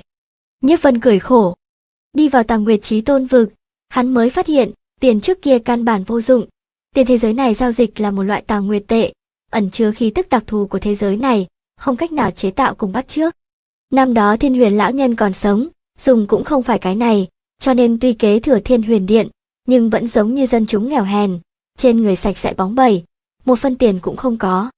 Trước kia ở thiên địa lục đạo, mặc dù vài vạn năm không ăn cái gì cũng không đói, nhưng ở chỗ này không được, không gian lực áp bách lớn, tiêu hào cũng lớn, nếu không phải trong cơ thể hai người tiên lực hùng hậu, là căn bản không chịu nổi. Dù vậy, lại không ăn cơm sẽ kiên trì không được mấy ngày. Phải nghĩ biện pháp kiếm chút tiền lấp đầy bụng lại nói. Đường đường thiên địa lục đạo đệ nhất nhân, Rõ ràng, vì không có tiền mà buồn giàu, thật đúng là một phân tiền làm khó anh hùng. Muốn kiếm tiền có hai con đường có thể đi. Thứ nhất, những thành thị này đều có nhiệm vụ điện, có thể đi nhận nhiệm vụ, đạt được thù lao tương ứng. Thứ hai, lão chủ nhân lưu lại, trước cầm đấu giá. Tuy con đường thứ hai nhẹ nhàng, nhưng trước khi không có đủ thực lực bảo hộ những vật này, lấy ra đấu giá, rất dễ dàng dẫn xuất phiền toái. Tiểu Linh phân tích. Hai thứ này đều không tốt, ta xem, vẫn làm làm sinh ý không vốn trước à. Nhiếp Vân nở nụ cười. Tuy hoàn thành nhiệm vụ có thể đạt được thù lao, nhưng bằng vào thực lực bây giờ, thù lao nhiều khẳng định khó khăn, làm không được, thù lao ít, lại không có thời gian, còn không bằng nghĩ những biện pháp khác. Sinh ý không vốn. Tiểu Linh mê hoặc. Ha ha, ca ca có ý tứ là đi trộm. Nhiếp đồng nở nụ cười. nhiếp Vân từ khí hải đại lục bắt đầu, một đường trộm đến linh giới, chính nhờ loại thủ đoạn này, mới để hắn ở trong thời gian ngắn tăng thực lực lên, đạt được đầy đủ tài nguyên tu luyện. Đi tới tàng nguyệt trí tôn vực, tuy thực lực của hắn chưa thể kể đến, không coi là cao minh, nhưng kỹ thuật trộm cắp tuyệt đối sắp xếp gần phía trước. Lĩnh ngộ thần thâu đại đạo nguyên vẹn, ngay cả thiên đạo cũng có thể ăn cắp, mặc dù tàng nguyệt trí tôn vực vô cùng rộng lớn, cũng không có mấy cái có thể so sánh. Cút ngay, chó chết mắt mù, đừng có ở đây ngăn cản đường của công tử chúng ta. Ba người đang nói chuyện, một thanh ngâm hét lớn vang lên, lập tức có mấy hạ nhân đi nhanh đẩy mọi người ra, thẳng về phía trước. Phía sau bọn họ có một thanh niên chậm rãi đi dạo, đối với mọi người chung quanh chẳng thèm ngó tới. Khách hàng đến rồi. Nhiếp Vân cười cười. Vô luận làm chuyện gì, Nhiếp Vân đều có nguyên tắc của mình, mặc dù có được thiên phú thần thâu, cũng không trộm đồ bậy bạ. Vô luận ban đầu ở phủ thiên đại lục hay ở linh giới, đều là người khác trước triệt để đắc tội hắn, hắn mới ra tay đối phó. Vốn đang muốn đi nơi nào tìm một ít bại hoại vi phú bất nhân, làm giàu không có nhân đức trộm ít tiền, liền đụng phải một cái, đương nhiên phải liệt hắn vào mục tiêu thứ nhất rồi. Người này quả nhiên không phụ kỳ vọng của hắn, bá đạo đến cực điểm, giống như cả con đường là nhà hắn mở, chỉ cần thấy có người chặn đường ở phía trước, hạ nhân nhẹ thì nhục mạ, nặng thì động thủ, cực kỳ hung hăng càn quấy. Ai, vị lão trượng này, người kia là ai, sao kiêu ngạo như vậy? Bên người tựa hồ cũng có người không biết thiếu gia kia, giữ chặt một lão giả hỏi. Người ngay cả hắn cũng không nhận ra, hắn là tiểu bá vương tiếng tăm lừng lẫy đại mạc thành trừ bưu, người trừ ra, đắc tội không nổi, ta khuyên người vẫn là nhanh đi thôi. Lão già đè thấp tiếng nói, mặt lộ vẻ sợ hãi. Người trừ ra. Người nọ tựa hồ ngay cả trừ gia cũng không có nghe nói. Trừ gia là một trong những gia tộc lớn nhất Đại Mạc Thành, nhất là trừ bưu này, nghe nói là đệ tử của Khánh Dương Tông, không ai dám đắc tội. Lão giả giải thích một câu, sợ đối phương nhìn qua, vội quay người đào tàu. Khánh Dương Tông. Nghe những đối thoại này vào tai, nhiếp vân nghi hoặc. Khánh Dương Tông là tông môn gần nhất Đại Mạc Thành, ở tào Nguyệt Trí Tôn vực ngay cả thế lực tam lưu cũng không tính, nhưng ở Đại Mạc Thành xem như một phương bá chủ, không ai dám đắc tội. Trong đó lão tổ nghe nói, có được thực lực cương giáp tướng. Chu Thiên Đình phong đệ nhị trọng, cương giáp tướng, lĩnh ngộ một ngàn đại đạo. Sắc mặt của Nhiếp Vân ngưng trọng. Thông qua trao đổi với Tiểu Linh, hắn đối với Tàng Nguyệt tướng sĩ phân cấp cũng có hiểu rõ nhất định. Chu Thiên Đỉnh Phong có được 500 đại đạo, có thể khảo hạch Tàng Nguyệt tướng sĩ, mỗi lĩnh ngộ 500 đại đạo, tấn chức một cấp bậc, đạt tới thực lực đệ ngũ trọng kim giáp tướng, phải lĩnh ngộ 2.500 đại đạo trở lên. Đối phương là cương giáp tướng, cái kia đã nói rõ ít nhất lĩnh ngộ 1.000 đại đạo. Loại thực lực này, xa xa không phải hắn lĩnh ngộ gần 200 đại đạo có thể chống lại. Lão Tổ có thực lực này, không có nghĩa là toàn bộ Khánh Dương Tông đều có thực lực này, đi, qua đi xem trừ bưu kia, nếu như biểu hiện tốt, cùng lắm thì đổi lại người, ngược lại khẩu vị của ta, trộm hắn cũng là trộm không. Nhất Vân cười cười, cho dù đối phương là cương giáp tướng lĩnh ngộ một ngàn đại đạo, chỉ cần không có lĩnh ngộ thâu thiên đại đạo, tu luyện tới cảnh giới đại thành, liền không cách nào phát hiện động tác của hắn, không có gì phải sợ hãi cả. Tốt. Nhiếp đồng gần đây dùng ca ca nói, như thiên lôi sai đầu đánh đó, nghe nói muốn trộm đồ, hai mắt tỏa ánh sáng, làm tiểu linh một hồi bất đắc dĩ, đành phải đi theo. Bích Hải huyền thiên cao nhất ở tàng nguyệt trí tôn vực. Trên hải dương sương mù quanh quẩn, một cung điện trắng noãn lơ lửng ở trong đó, đắm chìm trong ánh mặt trời của tàng nguyệt trí tôn vực, phóng ra hào quang thánh khiết. Cái này là địa phương trọng yếu nhất của tàng nguyệt trí tôn, chỗ ở của A Dục phương A Dục phương cường giả hỗn độn phong vương, toàn bộ tàng nguyệt trí tôn vực đúng là hắn một tay sáng tạo, không biết sống bao nhiêu năm, không người biết rõ số tuổi thật sự của hắn, cũng không có người biết rõ thực lực chân chính của hắn. Chỉ biết, mặc dù cường giả chúa tể vi phạm ý chí của hắn, một câu quát nhẹ cũng có thể để cho đối phương hồn phi phách tán, không thể phục sinh. Có thể nói ở tàng nguyệt trí tôn vực, hắn là vương giả mạnh nhất, cũng là vương giả duy nhất, trừ hắn ra, không ai dám dùng chữ vương, bởi vì dám dùng loại xưng hô này, là không tôn trọng hắn. Chỉ cần một ý niệm buông xuống, thực lực cường thịnh trở lại cũng sẽ biến thành bột phấn. Thế lực mạnh hơn nữa, cũng hóa thành cho bụi. Đã từng có một tông chủ không cho là như vậy, liên hiệp mấy chục tông môn nhất lưu muốn phản kháng ý chí của A Dục Vương. Kết quả, đối phương nói một chữ diệt, tất cả người vi phạm tại chỗ tử vong, thậm chí những người này còn không thấy A Dục Vương ở địa phương nào. Người mạnh như thế, theo lý thuyết, nên vô ưu vô lự, không có gì sợ hãi, nhưng không giống bất luận kẻ nào tưởng tượng. Lúc này A Dục Vương đang đứng trên bích hải, nhìn tấm bia đá cự đại ở trên cung điện, sắc mặt trầm thấp. Tấm bia đá này không biết cao bao nhiêu, một nửa cắm ở trong hỗn độn, toàn thân hiện lên màu vàng, để cho người sinh ra một loại ảo giác vắt ngang vũ trụ, không dám nhìn chính diện. Hỗn độn kim bia ghi lại đại sự của hỗn độn, bốn vương hội tụ cao nhất có thể hiện ra màu bạc, vì sao? Biến thành màu vàng, chẳng lẽ thực sự có loại nhân vật này? Hắn, thành công rồi sao? Nhìn tấm bia đá trước mắt, A Dục Vương thì thào tự nói, trong mắt hiện lên vẻ lo lắng cùng sợ hãi. Có thể làm cho cường giả hỗn độn phong vương xuất hiện loại vẻ mặt này, nói ra tuyệt đối không người tin tưởng. Tự nói một hồi, cổ tay khẽ đảo, hai trang giấy màu vàng kịch liệt thiêu đốt. Một lát sau, hỗn độn hải dương sôi trào, hai lối đi thẳng tắp bắn qua, xuất hiện hai bóng người cao lớn. A Dục Vương, gấp gáp tìm chúng ta tới như vậy, là chuyện gì xảy ra? Người đi đầu, còn chưa tới trước mặt liền để cho người cảm thấy một cổ sát khí đậm đặc đập vào mặt, tự hồ chỉ cần hắn tâm niệm vừa động, có thể chém ra một kích tất sát. Một trong tứ đại cường giả hỗn độn phong vương, tuyệt sát vương. Nghe nói sát ý của tuyệt sát vương còn nặng hơn tu la vương, một lời không hợp sẽ sát nhân. Lúc trước không biết giết bao nhiêu đối thủ, mới có thể thành vương. Có thể làm cho ngươi sử dụng hỗn độn kim thư, nói rõ sự tình không nhỏ, nói đi, đến cùng làm sao vậy? Người thứ hai cũng rơi xuống, chân vừa thô vừa to, trong mắt mang theo khí tức hỗn độn sinh diệt, một trong tứ đại hỗn độn phong vương, hỗn độn vương. Không nghĩ tới tứ đại cường giả phong vương, thời gian nháy mắt lại hội tụ ba cái. Các ngươi xem. A Dục Vương cũng không nhiều lời, chỉ hỗn độn kim bia trước mắt. Làm sao vậy? Tuyệt sát vương, hỗn độn vương thấy sắc mặt hắn ngưng trọng, vội vàng quay đầu nhìn sang, mới nhìn thoáng qua, đồng thời biến sắc. Hỗn độn kim bia rõ ràng xuất hiện màu vàng, chẳng lẽ Tu La Vương trở về? Tuyệt sát vương nhớ mày. Hỗn độn kim bia, mặc dù năm đó tứ đại vương giả chúng ta tề tụ, cũng chỉ biểu hiện màu bạc, nghe nói là còn có một thiên vị vương giả không có xuất hiện, nương theo Tu La Vương vẫn lạc, liền biến thành màu xanh, làm sao lại đột nhiên biến thành màu vàng? Cho dù Tu La Vương trở về, cũng sẽ không như vậy, không biết. Lời của hỗn độn vương còn chưa nói hết, liền chứng kiến A Dục Vương cùng Tuyệt Sát Vương đồng thời nhìn qua, trong mắt từng người lộ ra kinh hãi. Đúng vậy, hẳn là thiên vị vương giả nào xuất hiện. Một lát sau, A Dục Vương gật đầu. Cái này, làm sao có thể? Hỗn độn Hải Dương, trình độ lớn nhất chỉ có thể thừa nhận bốn vị vương giả, nhiều hơn nữa sẽ xuất hiện sụp đổ. Cái này là năm đó lúc hỗn độn phong vương, chúng ta xác thực biết đến, mặc dù biết có thiên vị vương giả, nhưng chúng ta nhất trí cho rằng là một trong bốn người chúng ta đột phá. Năm đó, giống như Tù La Vương, đã tìm được pháp môn tiến về hỗn độn trí tôn chi địa, trộm lấy hỗn độn chi tâm, về sau bị chúng ta phát hiện, liên thủ đánh chết. Chẳng lẽ hắn chẳng những phá kiếp trọng sinh, còn biết làm sao trở thành thiên vị vương giả, hơn nữa đã có hiệu quả. Sắc mặt của hỗn độn vương biến hóa. Rất có khả năng, tuy Tu La Vương thành tựu tứ đại vương giả trễ nhất, nhưng tiến bộ lại nhanh nhất. Muốn nói người có khả năng thành tựu thiên vị vương giả nhất, chứ hắn ra không còn có thể là ai khác. A Dục Vương chậm rãi nói. Năm đó mặc dù ba người chúng ta liên thủ, thì triển ra tuyệt chiêu hỗn độn khung lư, cũng để cho một tia tàn hồn của hắn đào tẩu, hơn nữa mang đi hỗn độn chi tâm.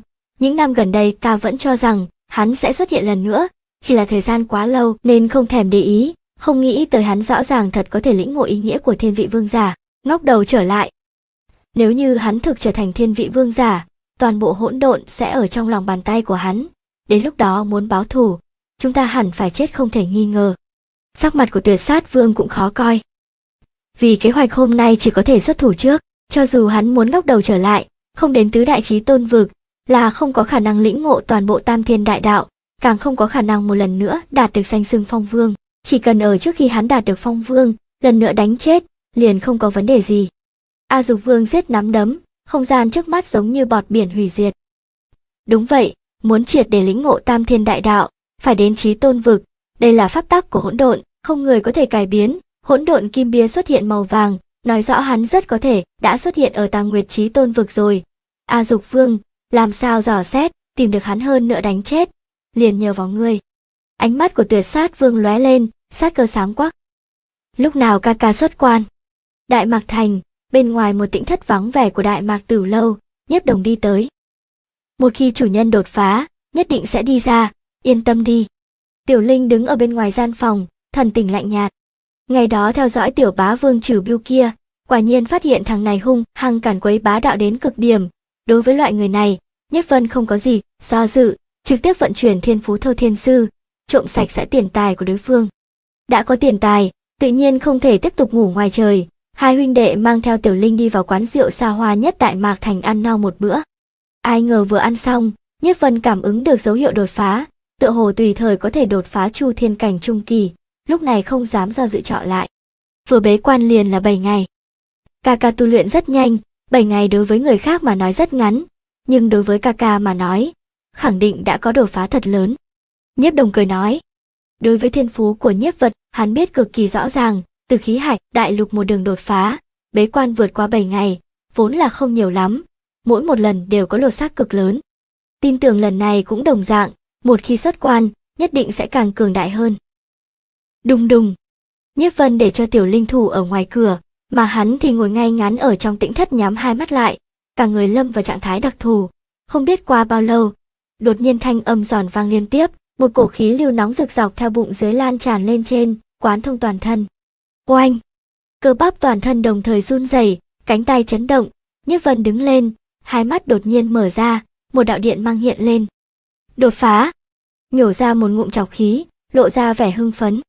Từ khi chiến đấu với Tu La Vương, qua hơn 3 vạn năm, tu vi cơ hồ một mực không tăng, không nghĩ tới mới đến Tảo Nguyệt Chí Tôn vực thì có đột phá, xem ra tuy không gian thế giới áp lực lớn, đối với thực lực tăng lên lại có chỗ tốt rất lớn.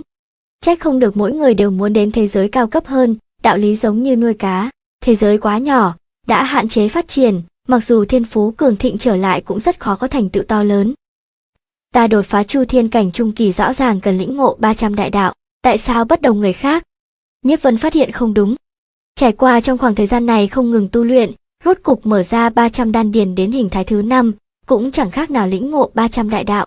Người khác lĩnh ngộ 200 đại đạo nguyên vẹn có thể đột phá đến chu thiên cảnh trung kỳ, mà hắn lĩnh ngộ 300 đại đạo mới có thể đột phá, cái này để cho hắn có chút giờ không rõ ý nghĩ. Ta dung hợp đan điền cũng tăng nhiều rồi. Nghĩ một lát cũng nghĩ không ra, lúc này mới chú ý tới dung hợp đan điền, chẳng biết lúc nào cũng nhiều hơn không ít. Ở thiên địa lục đạo ba vạn năm, tuy hắn không có mở ra quá nhiều đan điền đến hình thái thứ năm, nhưng dung hợp đan điền đã có tiến triển thật lớn. Dung hợp chín đan điền là khu tu sư cử phẩm trong thiên địa lục đạo. Năm đó, trước khi chiến đấu với Tu La Vương, hắn liền dung hợp hơn 10 đan điền ở chung một chỗ, lại trải qua 3 vạn năm tu luyện, hiện tại đan điền bài danh top 300, chọn vẹn dung hợp 100 lẽ một cái. Đương nhiên, xếp hạng top 10 như trước chỉ có võ đạo đan điền. Dung hợp đan điền, bài danh càng sau càng dễ dàng, càng đến gần trước càng khó. Ân, không đúng, chẳng lẽ? Chứng kiến đan điền dung hợp, trong nội tâm nhiếp vân chấn động, toát ra một cách nghĩ kinh người. Ta tổng cộng có 100 lẽ một đan điền dung hợp chung một chỗ, sẽ không ở thời điểm đột phá, đan điền dung hợp trở thành một cái chứ. Đan điền dung hợp, thiên phú chi khí quán thông lẫn nhau, rất nhiều thiên phú biến thành một. Nếu như dùng đại đạo phân loại mà nói, tương đương với 100 lẻ một cái này dung hợp chung một chỗ, biến thành một đại đạo rồi. Lĩnh ngộ 300 đại đạo, dung hợp 100 lẽ một đại đạo, còn thường 199 đại đạo. Nếu như cộng thêm dung hợp biến thành một đại đạo mà nói, vừa vặn 200 đại đạo. Nói như vậy, đột phá không có chút vấn đề nào, cũng không khác người khác. Tuy đột phá giống như người khác, nhưng thực lực của ta lại gấp trăm lần chu thiên cảnh trung kỳ bình thường. Thành công đột phá, Nhất Vân đối với thực lực cũng có nắm chắc càng sâu. Tuy không giao thủ với cường giả đồng cấp, nhưng trải qua mấy ngày nay quan sát ở Tà Nguyệt Chí Tôn vực, đối với thực lực của cường giả Chu Thiên cảnh vẫn có chỗ hiểu rõ. Hiện tại cho dù tu vi chỉ là Chu Thiên cảnh trung kỳ, nhưng sức chiến đấu tuyệt đối có thể vượt qua Chu Thiên cảnh hậu kỳ, có thể so sánh với cường giả lĩnh ngộ 400, thậm chí 500 đại đạo. Đây là dưới tình huống không sử dụng hỗn độn thần binh đỉnh phong. Người sinh hoạt ở Tà Nguyệt Chí Tôn vực, lực áp bách không gian lớn, chỉ nói huyết mạch, bình thường nhất còn cao cấp hơn Tiểu Long. Loại người này đặt ở thiên địa lục đạo, mỗi người đều có thể vượt cấp chiến đấu. Loại tình huống này, ta còn có thể thắng được bọn hắn, chỉ sợ cũng không phải, bởi vì lĩnh ngộ đại đạo gần phía trước đơn giản như vậy, mà cùng đại đạo xung hợp có quan hệ nhất định. Trong nội tâm nhiếp vân phỏng đoán, có được thiên phú võ đạo sư, hắn đối với thân thể nhìn rõ mọi việc, rất nhiều vấn đề đều có thể xem rõ ràng.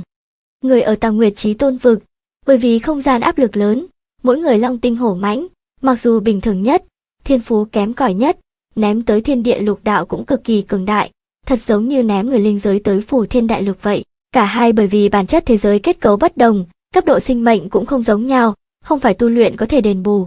Mà loại tình huống này, hắn còn có thể vượt cấp chiến đấu, cũng không phải lĩnh ngộ đại đạo gần phía trước đơn giản như vậy, dung hợp đại đạo khẳng định cũng có một bộ phận tác dụng rất lớn. Phải hay không? Thí nghiệm thoáng một phát là tốt rồi. Hừ nhẹ một tiếng, tuy nhiếp vân đột phá, nhưng cũng không sốt ruột xuất quan, mà lắng động tâm linh, tận khả năng dung hợp thiên phú. Trước kia dung hợp thiên phú, không có quá nhiều đầu mối, chỉ có thể dựa vào kỳ ngộ. Trải qua ba vạn năm tu luyện, cùng với nghiên kinh nghiệm của vô số khu tu sư, cũng tìm được một ít quy luật. Một trăm lẽ một đan điền, đã dung hợp chậm rãi xoay tròn, tới gần một đan điền không dung hợp, cảm ứng đến lực lượng bài xích của song phương như thế nào, sau đó tìm kiếm điểm giống nhau.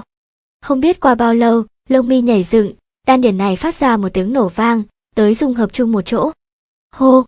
Cái đan điền này vừa dung hợp thành công, liền cảm thấy khí thế toàn thân thoáng một phát giảm xuống, thực lực đạt tới chu thiên cảnh trung kỳ, lần nữa ngã xuống, một lần nữa biến trở về chu thiên cảnh sơ kỳ. Ách, cái này, như vậy cũng được. Mở chừng hai mắt, con mắt của nhiếp vân trợn tròn. Thật vất vả đột phá cảnh giới, rõ ràng nương theo dung hợp một đan điền mà rất cấp, cái này cũng quá lừa người à. Chẳng lẽ thời điểm 300 đan điền dung hợp thành 100, còn có thể quay trở lại xích thiên cảnh. Bất quá, tuy cấp bậc giảm xuống, nhưng thực lực lại mạnh hơn.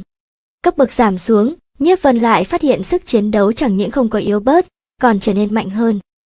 Được rồi, chỉ cần thực lực không giảm là được, kỳ thật như vậy cũng tốt, không cần ngụy trang, người khác cũng nhìn không ra sức chiến đấu chính thức, có thể che giấu rất tốt. Chỉ cần thực lực ở đó, cấp bậc thấp hay cao đều không trọng yếu, ngược lại có thể che giấu mình, giảm bớt không ít phiền toái. Nghĩ thông suốt những cái này, khí hải của nhiếp vân nhẹ nhàng khẽ động, đan điền dung hợp tách ra. Giờ màu áo. Dung hợp đan điền vừa ra, lập tức cảm thấy khí thế trên người lần nữa bạo tăng, lại về chu thiên cảnh trung kỳ. Cái này, không nghĩ tới tào nguyệt trí tôn vực cổ quá như thế, cấp bậc là điều kiện cứng nhắc, chỉ cần lĩnh ngộ số lượng đại đạo nhất định, có thể tùy thời đột phá, mà một khi dung hợp, liền sẽ ngã xuống lần nữa. Như vậy rất tốt, bình thường đan điền dung hợp chung một chỗ, có thể tê liệt địch nhân. Một khi chiến đấu lập tức triển lộ thực lực, tuyệt đối có thể tạo thành hiệu quả không tưởng được. Nhiếp Vân nở nụ cười, con mắt tỏa ánh sáng. Xem ra sau này mở ra đan điền hình thái thứ năm, đồng thời còn phải không ngừng dung hợp đan điền. Tùy tách đan điền dung hợp, lập tức để cho cấp bậc tăng cao, nhưng sức chiến đấu không gia tăng, bất quá cho đối phương lực áp bách cùng lực trùng kích lại cực kỳ lớn, song phương giao chiến, từng ỗ thủng đều chí mạng, một khi tâm linh của đối phương xuất hiện kinh ngạc cùng trần chờ, tuyệt đối có thể nhất kích tất sát. Tốt rồi, tu luyện chấm dứt, nên đi ra. Đối với tu luyện về sau đã có phương hướng minh xác, Nhiếp Vân cười cười, đi ra ngoài tính thất, kết thúc bế quan. Vừa đi ra ngoài, Nhiếp Đồng cùng Tiểu Linh chạy tới đón chào. Ân. Nhiếp Đồng vốn muốn hỏi thực lực của hắn tăng lên bao nhiêu, đột nhiên sững sờ, lộ ra vẻ khó mà tin được. Ca ca, ngươi không phải muốn đột phá chu thiên cảnh trung kỳ sao? Làm sao? Không có thành công. Nếu như hiện tại Nhiếp Vân đột phá đến chu thiên cảnh hậu kỳ, thậm chí đỉnh phong, hắn cũng không quá kỳ quái, nhưng tu vi không thay đổi chút nào, lại để cho hắn sờ không rõ đầu óc. Ta đã đột phá. Nhiếp Vân không giải thích nhiều, chỉ ra phía ngoài. Đi, đi khảo hạch tàng nguyệt tướng sĩ, đi vào thế giới này trước phải dung nhập trong đó, lại làm tiếp ý định.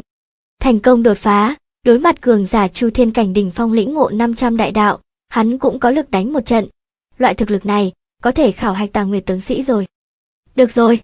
Thấy hắn không nói, nhiếp đồng liền không hỏi, nhẹ gật đầu. Nhìn hai người đối thoại ở trong mắt, tiểu linh có chút đứng không yên. Chủ nhân, khảo hạch tàng nguyệt tướng sĩ ít nhất có được thực lực chu thiên cảnh đỉnh phong, lĩnh ngộ 500 đại đạo, ngươi như vậy đi qua, có phải có chút quá lỗ mãng hay không? Nói dễ nghe là lỗ mãng, khó nghe là không biết tự lượng sức mình. Khảo hạch tàng nguyệt tướng sĩ vốn khó khăn, cửu tử nhất sinh, mặc dù lĩnh ngộ 500 đại đạo chính thức, cũng rất khó hoàn thành, hắn mới chu thiên cảnh sơ kỳ muốn khảo hạch, tiểu linh lắc đầu, cũng không cho rằng vị tân chủ nhân này có thể thành công. Lỗ mãng, ca ca đã muốn làm, nhất định sẽ thành công, yên tâm đi. Không giống hắn lo lắng, nhiếp đồng tràn đầy tin tưởng. Từ khi ly khai lạc thủy thành, nhiếp vân sáng tạo ra quá nhiều kỳ tích, nhiếp đồng đã có sùng bái mù quáng. Cái này, thật không biết tự tin của các người ở nơi nào, minh bạch nói cho các người biết. Khảo hạch tàng nguyệt tướng sĩ cực kỳ khó, mặc dù là cường giả lĩnh ngộ 500 đại đạo, mỗi 100 người khảo hạch, có thể thông qua một cái cũng không tệ rồi, ý của ta, không phải là không tin chủ nhân, mà là chủ nhân hoàn toàn có thể đợi thực lực mạnh hơn chút ít nữa lại nói, không cần phải hiện tại liền thử. Tiểu Linh vội vàng giải thích. Không cần chờ, trực tiếp đi khảo hạch a. Đánh gãy Tiểu Linh lo lắng, nhất Vân lờ đễnh. Trở thành Tàng Nguyệt tướng sĩ sẽ có rất nhiều ưu đãi, thân phận địa vị đề cao, có thể nghe ngóng càng nhiều tin tức nữa. Mặc dù Tiểu Linh nói, đạt tới chúa tể có thể tách thiên đạo ra, nhưng đây chỉ là lời của hắn. Chính xác hay không còn chưa thể xác định.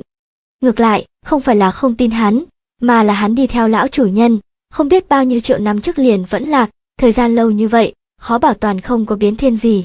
Lại nói, hắn chỉ biết là có thể thực hiện, lại không biết phương pháp cụ thể, hết thảy còn cần tìm hiểu kỹ càng. Đạm Đài Lăng Nguyệt là người yêu duy nhất của hắn, trước khi không có nắm chắc, tuyệt sẽ không mạo hiểm, làm cho đối phương tiếp nhận nhiều thêm một tia nguy cơ. Được rồi. Thấy chủ nhân kiên trì, Tiểu Linh không nói thêm lời, bất quá ở sâu trong nội tâm, cũng nhìn không tốt nhiếp vần có thể thông qua. Điểm khảo hạch tàng nguyệt tướng sĩ ở Đại Mạc Thành, chỉ có thể khảo hạch cấp thấp nhất thiết giáp, cấp cao cần đi thành thị càng lớn mới có thể. Tất cả điểm khảo hạch đều có danh tự giống nhau, Tàng Nguyệt Các, chỉ cần có thể ở Tàng Nguyệt Các thông qua khảo hạch, sẽ ban phát huy trường tướng sĩ, dùng màu sắc bất đồng đánh dấu lấy đẳng cấp bất đồng, đại biểu cho thân phận bất đồng. Đã có huy chương tướng sĩ, chẳng những có thể ở Tàng Nguyệt Các mua đồ, tìm hiểu tin tức, còn có thể ban bố nhiệm vụ, hoàn thành nhiệm vụ, thu hoạch tài nguyên cùng bí tịch mình muốn. Nói tóm lại, Tà Nguyệt các này trên thực tế là một tổ chức cường đại, giống như khu tu tháp lúc trước, khống chế lực lượng đỉnh phong nhất của toàn bộ Tà Nguyệt thế giới.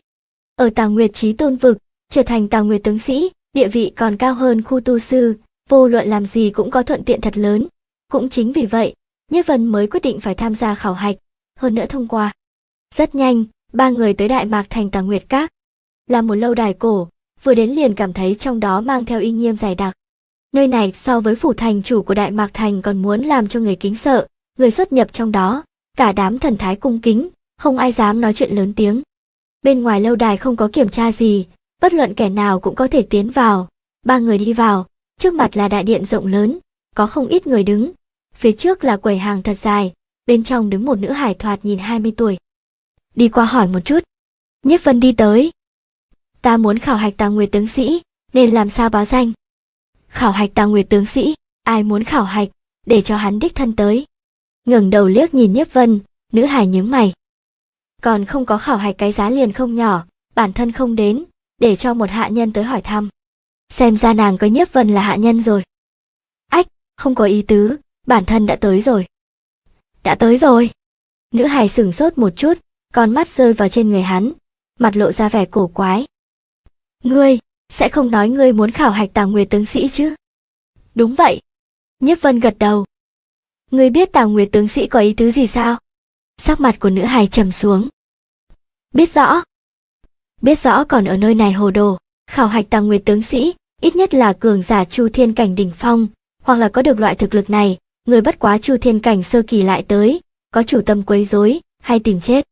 Nữ hải hừ lạnh. Chẳng lẽ báo danh có hạn chế? không cho phép Chu Thiên Cảnh sơ kỳ báo. Không để ý tới thái độ của đối phương, Nhiếp Vân hỏi lại. Đương nhiên không phải, bất luận kẻ nào cũng có thể báo danh, nếu như người muốn chết, ta cũng không ngăn cản ngươi, thấy không, bên kia có đo lực sảnh, ngươi đi qua khảo thí, có thể thông qua, ta sẽ tiến hành thủ tục cho ngươi, không qua được, tử vong cũng đừng oán trời trách đất. Nữ hài khoát tay. Tốt, ta qua xem. Quay đầu nhìn thoáng qua, quả nhiên thấy bên cạnh đại sảnh có một cánh cửa đứng sừng, phía trên có ba chữ to đo lực sành. Các ngươi ở chỗ này chờ ta, ta qua bên kia một chuyến. Nói với nhiếp đồng một tiếng, nhấc chân đi đến đo lực sành. Tuy không biết nơi này đang làm gì, nhưng nghe danh tự có thể đoán được, hẳn là dùng để khảo thí thực lực. Xem, có người đi đo lực sảnh rồi. Chẳng lẽ là đến khảo hạch tàng người tướng sĩ? Nhất định là vậy, chỉ là, ta không nhìn lầm chứ, thực lực của hắn làm sao chỉ có chu thiên cảnh sơ kỳ, loại thực lực này cũng tới khảo hạch, cái này là muốn chết à? Chu thiên cảnh sơ kỳ, thằng này là ẩn giấu thực lực, hay đầu óc có vấn đề? Không quản nguyên nhân gì, nhìn xem chẳng phải sẽ biết. Đo lực sành cũng không phải đùa giỡn, không có thực lực. Đi vào hẳn phải chết không thể nghi ngờ, nếu như có thể còn sống đi ra. Hơn nữa thông qua khảo hạch, đã khẳng định hắn che giấu thực lực. Nhất Vân đi đến đo lực sành, lập tức đưa tới mọi người trong đại sảnh chú ý, tất cả đều lộ ra vẻ tò mò, nói thầm. Tuy địa vị của Tào Nguyệt tướng sĩ tôn sùng, nhưng cực kỳ khó có thể khảo hạch. Tuy những người này đều đứng ở trong đại sảnh, nhưng Tào Nguyệt tướng sĩ chính thức lại không có mấy cái. Thấy có người tới khảo hạch, tất cả đều muốn nhìn một chút có thể thông qua hay không. Chủ nhân, không có sao chứ? Nghe những lời này vào tai, Tiểu Linh vốn có chút lo lắng, lần nữa dao động lên. Ở trong hỗn độn hải dương trôi nổi trăm triệu năm, thật vất và tìm được truyền thừa, lần nữa trở lại Tàng Nguyệt Chí Tôn vực, hắn cũng không muốn lại đi trở về nhà. Yên tâm đi, khẳng định không có việc gì. Nhiếp đồng cười nói, căn bản không quan tâm đo lực sảnh có nguy hiểm hay không. Không biết ánh mắt của mọi người đều tập trung ở trên người hắn, lúc này nhiếp vân đẩy cửa đi vào. Đại môn của đo lực sành chỉ rộng bằng một người, không có người gác. Nhất vân hô một câu, phát hiện không có người để ý tới mình, đẩy cửa đi vào, ai ngờ vừa mới tiến vào, dưới chân liền mềm nhũn phù phù, ngã trên mặt đất. Trọng lực thật mạnh. Vừa té trên mặt đất, hắn lập tức hiểu được, tuy nơi này và tàng nguyệt các tầng thông, nhưng dĩ nhiên cải biến trạng thái không gian, trọng lực so với vừa rồi lớn hơn trọn vẹn trăm lần. Mặc dù là hắn, dưới tình huống không hề phòng bị mạnh mẽ đi tới, cơ bắp toàn thân đau đớn, mạch máu sắp bạo liệt. May mắn ta một mực tu luyện nhục thể, hơn nữa, dung hợp huyết mạch của Tiểu Long cùng U Minh Hoàng Vương, vượt xa thường nhân, bằng không thì mạnh mẽ tiến vào chỗ trọng lực, chỉ sợ lần này sẽ trực tiếp bạo thể mà vong. Nhiếp Vân lòng còn sợ hãi. Vừa rồi nếu không phải thân thể hắn mạnh mẽ, không hề phòng bị tiến vào đây, mạch máu tuyệt đối sẽ phá tan, lập tức bạo thể mà chết. Dù vậy, trong cơ thể hắn cũng đã biến thành hỗn loạn, kinh mạch đoạn thất thất bát bát, không sai biệt lắm sắp phế đi. Mộc sinh chi khí trị liệu. Trong nội tâm khẽ động, mộc sinh chi khí chậm rãi vận chuyển ở trong người, nội tạng bị thương khôi phục như lúc ban đầu, tiên lực trong cơ thể bắt đầu khởi động, bảo vệ kinh mạch, bàn tay nhấc vần vỗ trên mặt đất. Đại lực đan điền, lực lượng 100 lần. Hô! Thân thể bắn ra, đứng lên, nhìn động tác cùng bộ dáng của hắn, không giống như nơi này có trọng lực gấp trăm lần chút nào, mà như ở ngoài đại sảnh. Ô!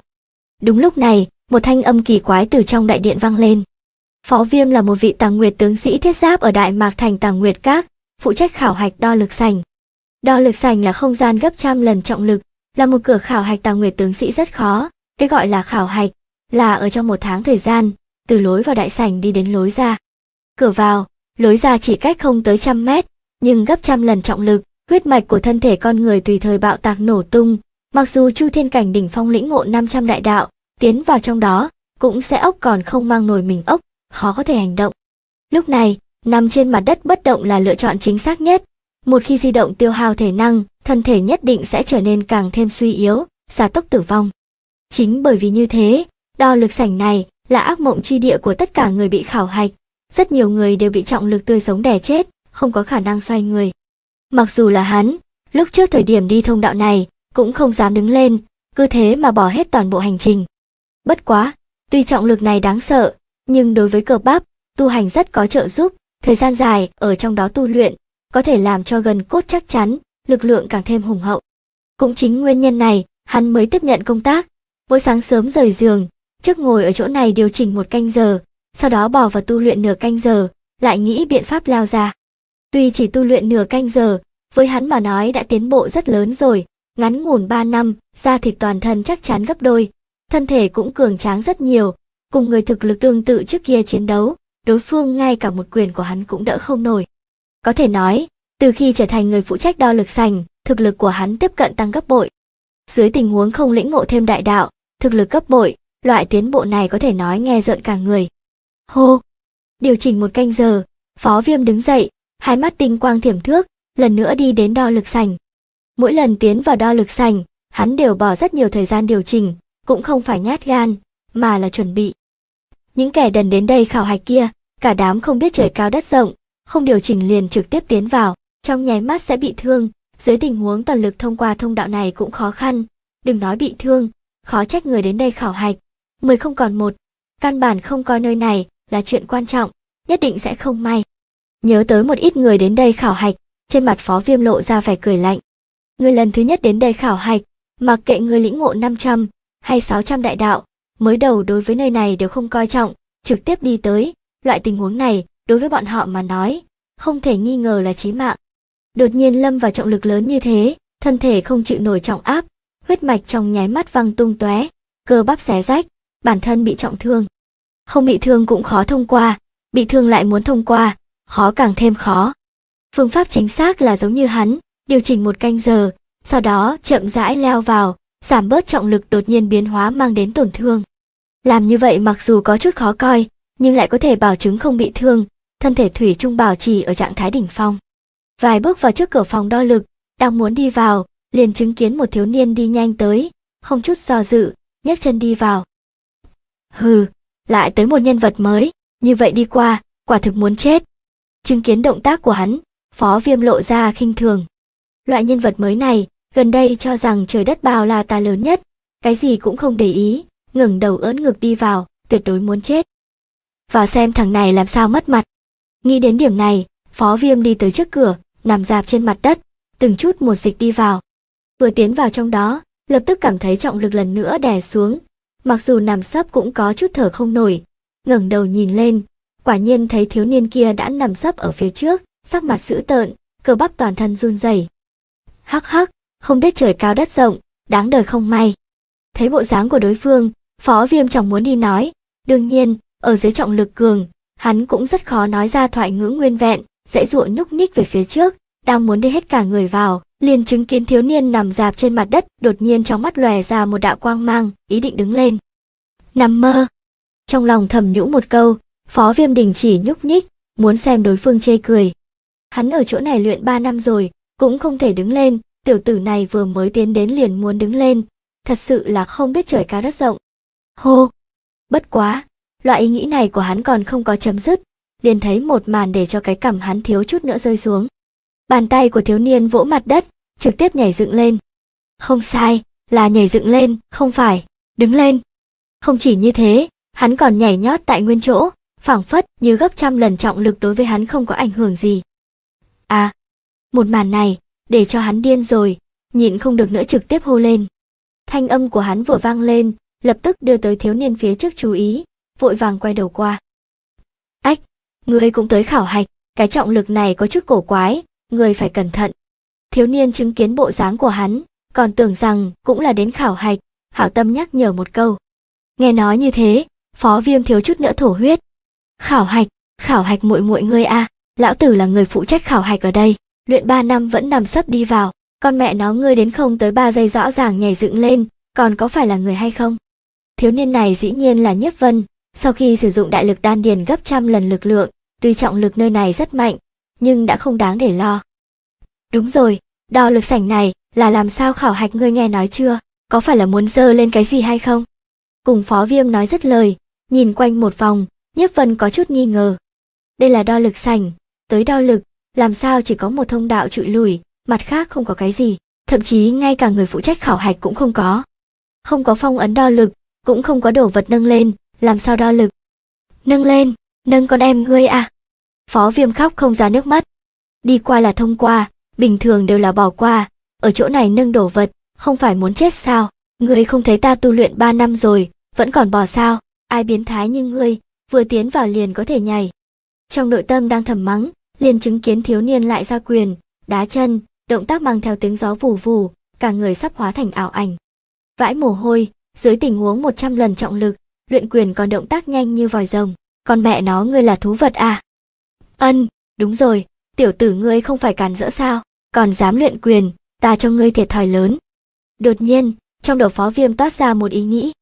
Một nhân vật mới, chẳng những có thể đứng ở chỗ này, còn dám luyện quyền, không biết trời cao đất rộng như thế, không giáo huấn thoáng một phát, quả thực để cho người phụ trách như hắn mặt quét rác. Ở chỗ này khảo hạch, là muốn nâng đồ vật lên. Vùng vẫy cả buổi, nhẫn nhịn một hơi thật dài, phó viêm dãy dụa nói ra. Khổ luyện 3 năm, rốt cục có thể nói chuyện, loại thành quả này để cho hắn rất hài lòng, bất quá khi chứng kiến thiếu niên ở bên cạnh, lại phiền muộn nói không nên lời. Nâng đồ vật, nâng cái gì? Nghe được khảo, hạch thật phải nâng đồ vật, Nhiếp Vân ngừng lại, quay đầu nhìn về phía Gia Hòa nằm dạp trên mặt đất như một cái bánh nướng kia. Nâng cái này. Phó Viêm dãy dụa lấy lật người ra, cánh tay nhoáng một cái, một cái khóa sắt xuất hiện ở trước mặt, nện mặt đất ầm ầm vang vọng. Tuy hắn không có cách nào nhúc nhích, nhưng từ trong không gian giới chỉ lấy ra đồ vật vẫn rất đơn giản. Cái này, nhìn thoáng qua khóa sắt trên mặt đất, Nhiếp Vân sững sờ.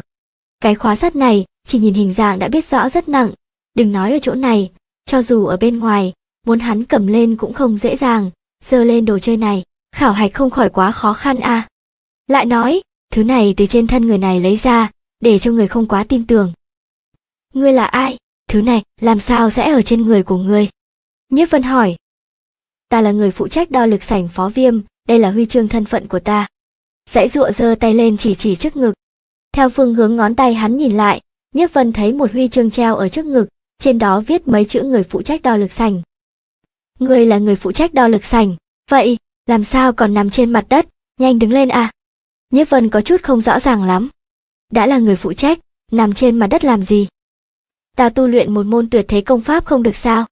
Phó Viêm tức giận đến oa oa gọi bậy. Muội muội nó, ngươi cho rằng ta không muốn đứng lên sao? Mấu chốt là, ta chỉ có thể bò à? Mất mặt. Đường đường người phụ trách, ở trước mặt một nhân vật mới không đứng dậy được, mặt sắp mất hết rồi. Còn không mau nâng khóa đá lên.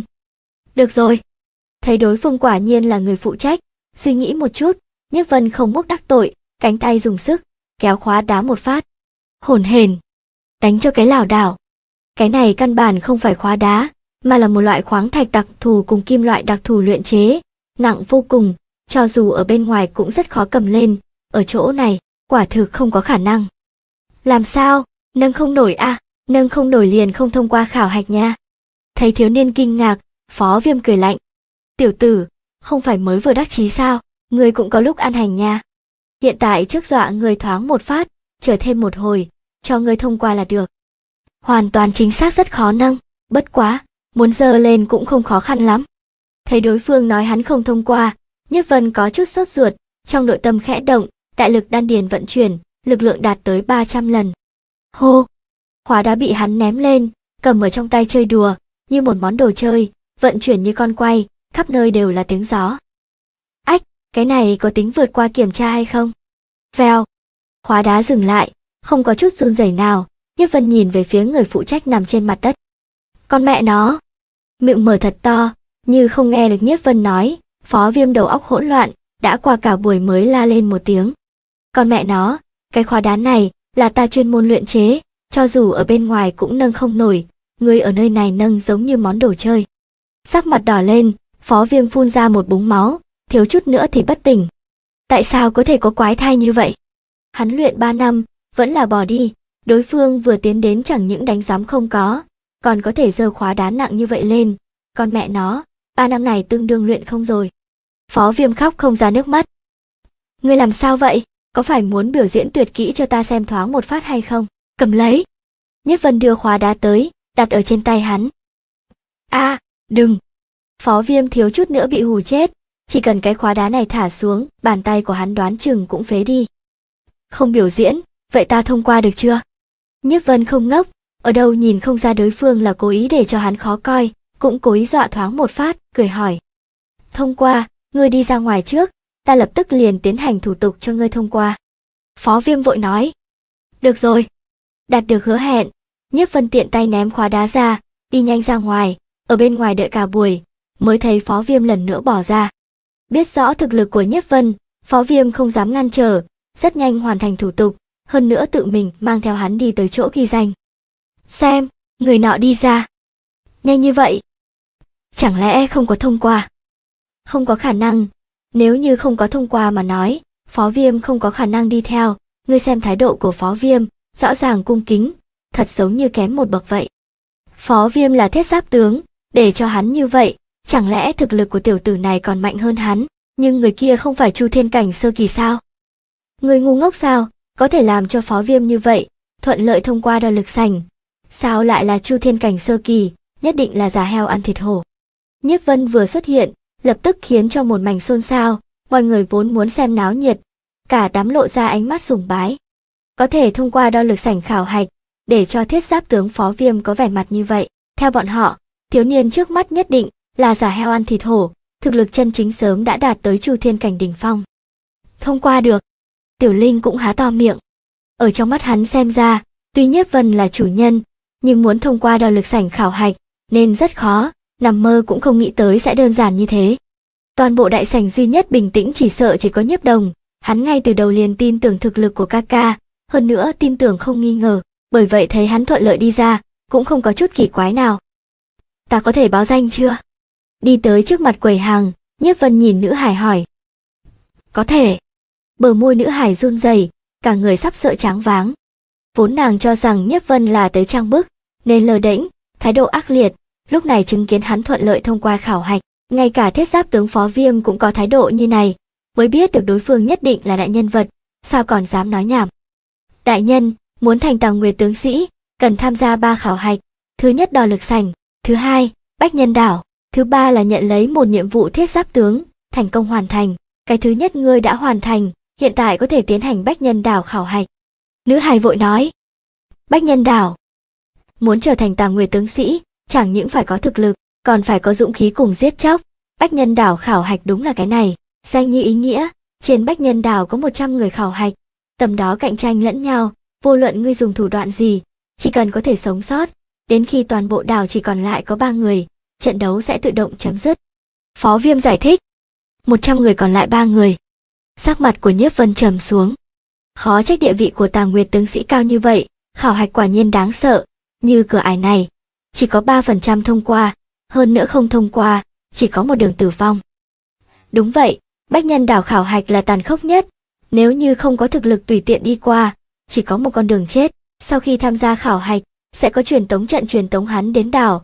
Đảo này không lớn, người bị khảo hạch trong đó cũng không phải chỉ ở Đại Mạc Thành, còn có những thành thị khác.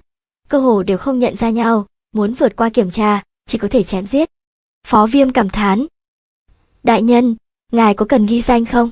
Muốn ghi danh, hôm nay còn có một lần truyền tống. Nữ hải hỏi. Tốt, báo danh a. Nhiếp Vân gật đầu. Tuy khảo hạch tà nguyệt tướng sĩ tàn khốc, nhưng cũng là phương pháp chính xác nhất, vô luận làm chuyện gì, không trải qua mưa gió, có thể nào nhìn thấy cầu vồng. Chủ nhân, người nên hiểu rõ ràng. Thấy hắn muốn báo danh, tiểu linh biến sắc, lần nữa tiến lên khuyên can. Làm sao vậy? Nhất Vân quay đầu. Ngươi thật muốn đi, thì ta mang lên. Ta là khí linh của ngươi, cho dù mang lên, cũng không tính không tuân theo quy định. Tiểu linh vội nói. Mang ngươi. Vâng. Tiểu linh truyền âm. Tà Nguyệt tướng sĩ khảo hạch bách nhân đảo, cũng không phải đơn giản là sinh tử chém giết, rất nhiều người đều có át chủ bài, nguy cơ trùng trùng. Chính bởi vì như thế, có thể đi tham gia khảo hạch, thực lực không chỉ lĩnh ngộ 500 đại đạo, rất nhiều người sợ nguy hiểm. Trước khi tham gia bình thường đều lĩnh ngộ 600 đại đạo, 700 đại đạo, thậm chí lĩnh ngộ hơn 1.000 đại đạo, cùng những người này cạnh tranh top 3 thật sự rất khó khăn. Còn có tình huống như vậy, không tệ. Nghe được đối phương giải thích, Nhất Vân không những không sợ hãi, ngược lại con mắt sáng ngời. Cũng đúng, lĩnh ngộ 500 đại đạo vừa đủ tư cách khảo hạch, một khi tiến vào nhất định là kế cuối. Có ít người vì có thể sống sót ở trong khảo hạch tàng người tướng sĩ, nhất định sẽ cố gắng tu luyện tới cảnh giới rất cao mới đi tham gia. Như vậy tuy nói lĩnh ngộ 500 đại đạo, thì có tư cách tham gia khảo hạch, trên thực tế có thể đi, thực lực khẳng định càng mạnh hơn nữa. Tốt rồi, các người đều đừng đi, ta một người đi qua, yên tâm đi. Có chúa tể ấn phủ, ta không có vấn đề gì. Thấy hắn lo lắng, Nhiếp Vân khoát tay. Nếu quả thật gặp được lực lượng không thể kháng cự, hoàn toàn có thể sử dụng chúa tể ấn phủ, đến lúc đó dưới chúa tể vô địch thủ, nguy hiểm gì cũng không cần sợ hãi. Đây chính là ta lo lắng, tuy bách nhân đảo không hạn chế binh khí cùng chúa tể ấn phủ, nhưng thường xuyên sẽ có đại năng chú ý, nếu như người sử dụng chúa tể ấn phủ bị phát hiện, nhất định sẽ hấp dẫn ánh mắt của cường giả. Ngươi cũng biết trình độ chân quý của chúa tể ấn phủ, đến lúc đó bọn hắn nhìn chằm chằm vào ngươi, thì phiền toái. Tiểu Linh nói tiếp, bị cường giả nhìn chằm chằm vào đích thật là chuyện phiền toái, xem ra tốt nhất không sử dụng chúa tể ấn phù, ngay cả hỗn độn thần binh thượng phẩm cũng không thể dùng. Tiền tài không để ra ngoài, trước khi không có thực lực tuyệt đối, tài sản lộ ra, nhất định sẽ rước lấy phiền toái vô cùng vô tận, cho nên vì an toàn, ở Bách Nhân Đảo, tốt nhất không sử dụng chúa tể ấn phù cùng hỗn độn thần binh thượng phẩm. Ngươi là khí linh của Thiên Huyền Điện, một khi ngươi ra tay, người khác nhất định có thể phỏng đoán ra cấp bậc của Thiên Huyền Điện, ngươi cũng đừng đi, tuy Bách Nhân Đảo nguy hiểm, nhưng tin tưởng ta thông qua, nên không có vấn đề. Minh bạch những cái này, Nhất Vân nói với Tiểu Linh. Tiểu Linh là khí linh của Thiên Huyền Điện, không ra tay, người khác nhiều nhất cho rằng hắn là hạ nhân, chỉ khi nào động thủ, nhất định sẽ bị cường giả phát hiện. Đến lúc đó có thể suy đoán ra cấp bậc, cùng tài sản, để lộ ra không có gì khác nhau. Phương pháp an toàn nhất chính là hắn cũng đừng đi, có nguy hiểm gì, Nhất Vân một người ứng phó. Cái này, Tiểu Linh cũng minh bạch điểm ấy, vẻ mặt sốt ruột cùng lo lắng. Tốt rồi, yên tâm đi, ta khẳng định không có việc gì. Nhất Vân lắc đầu.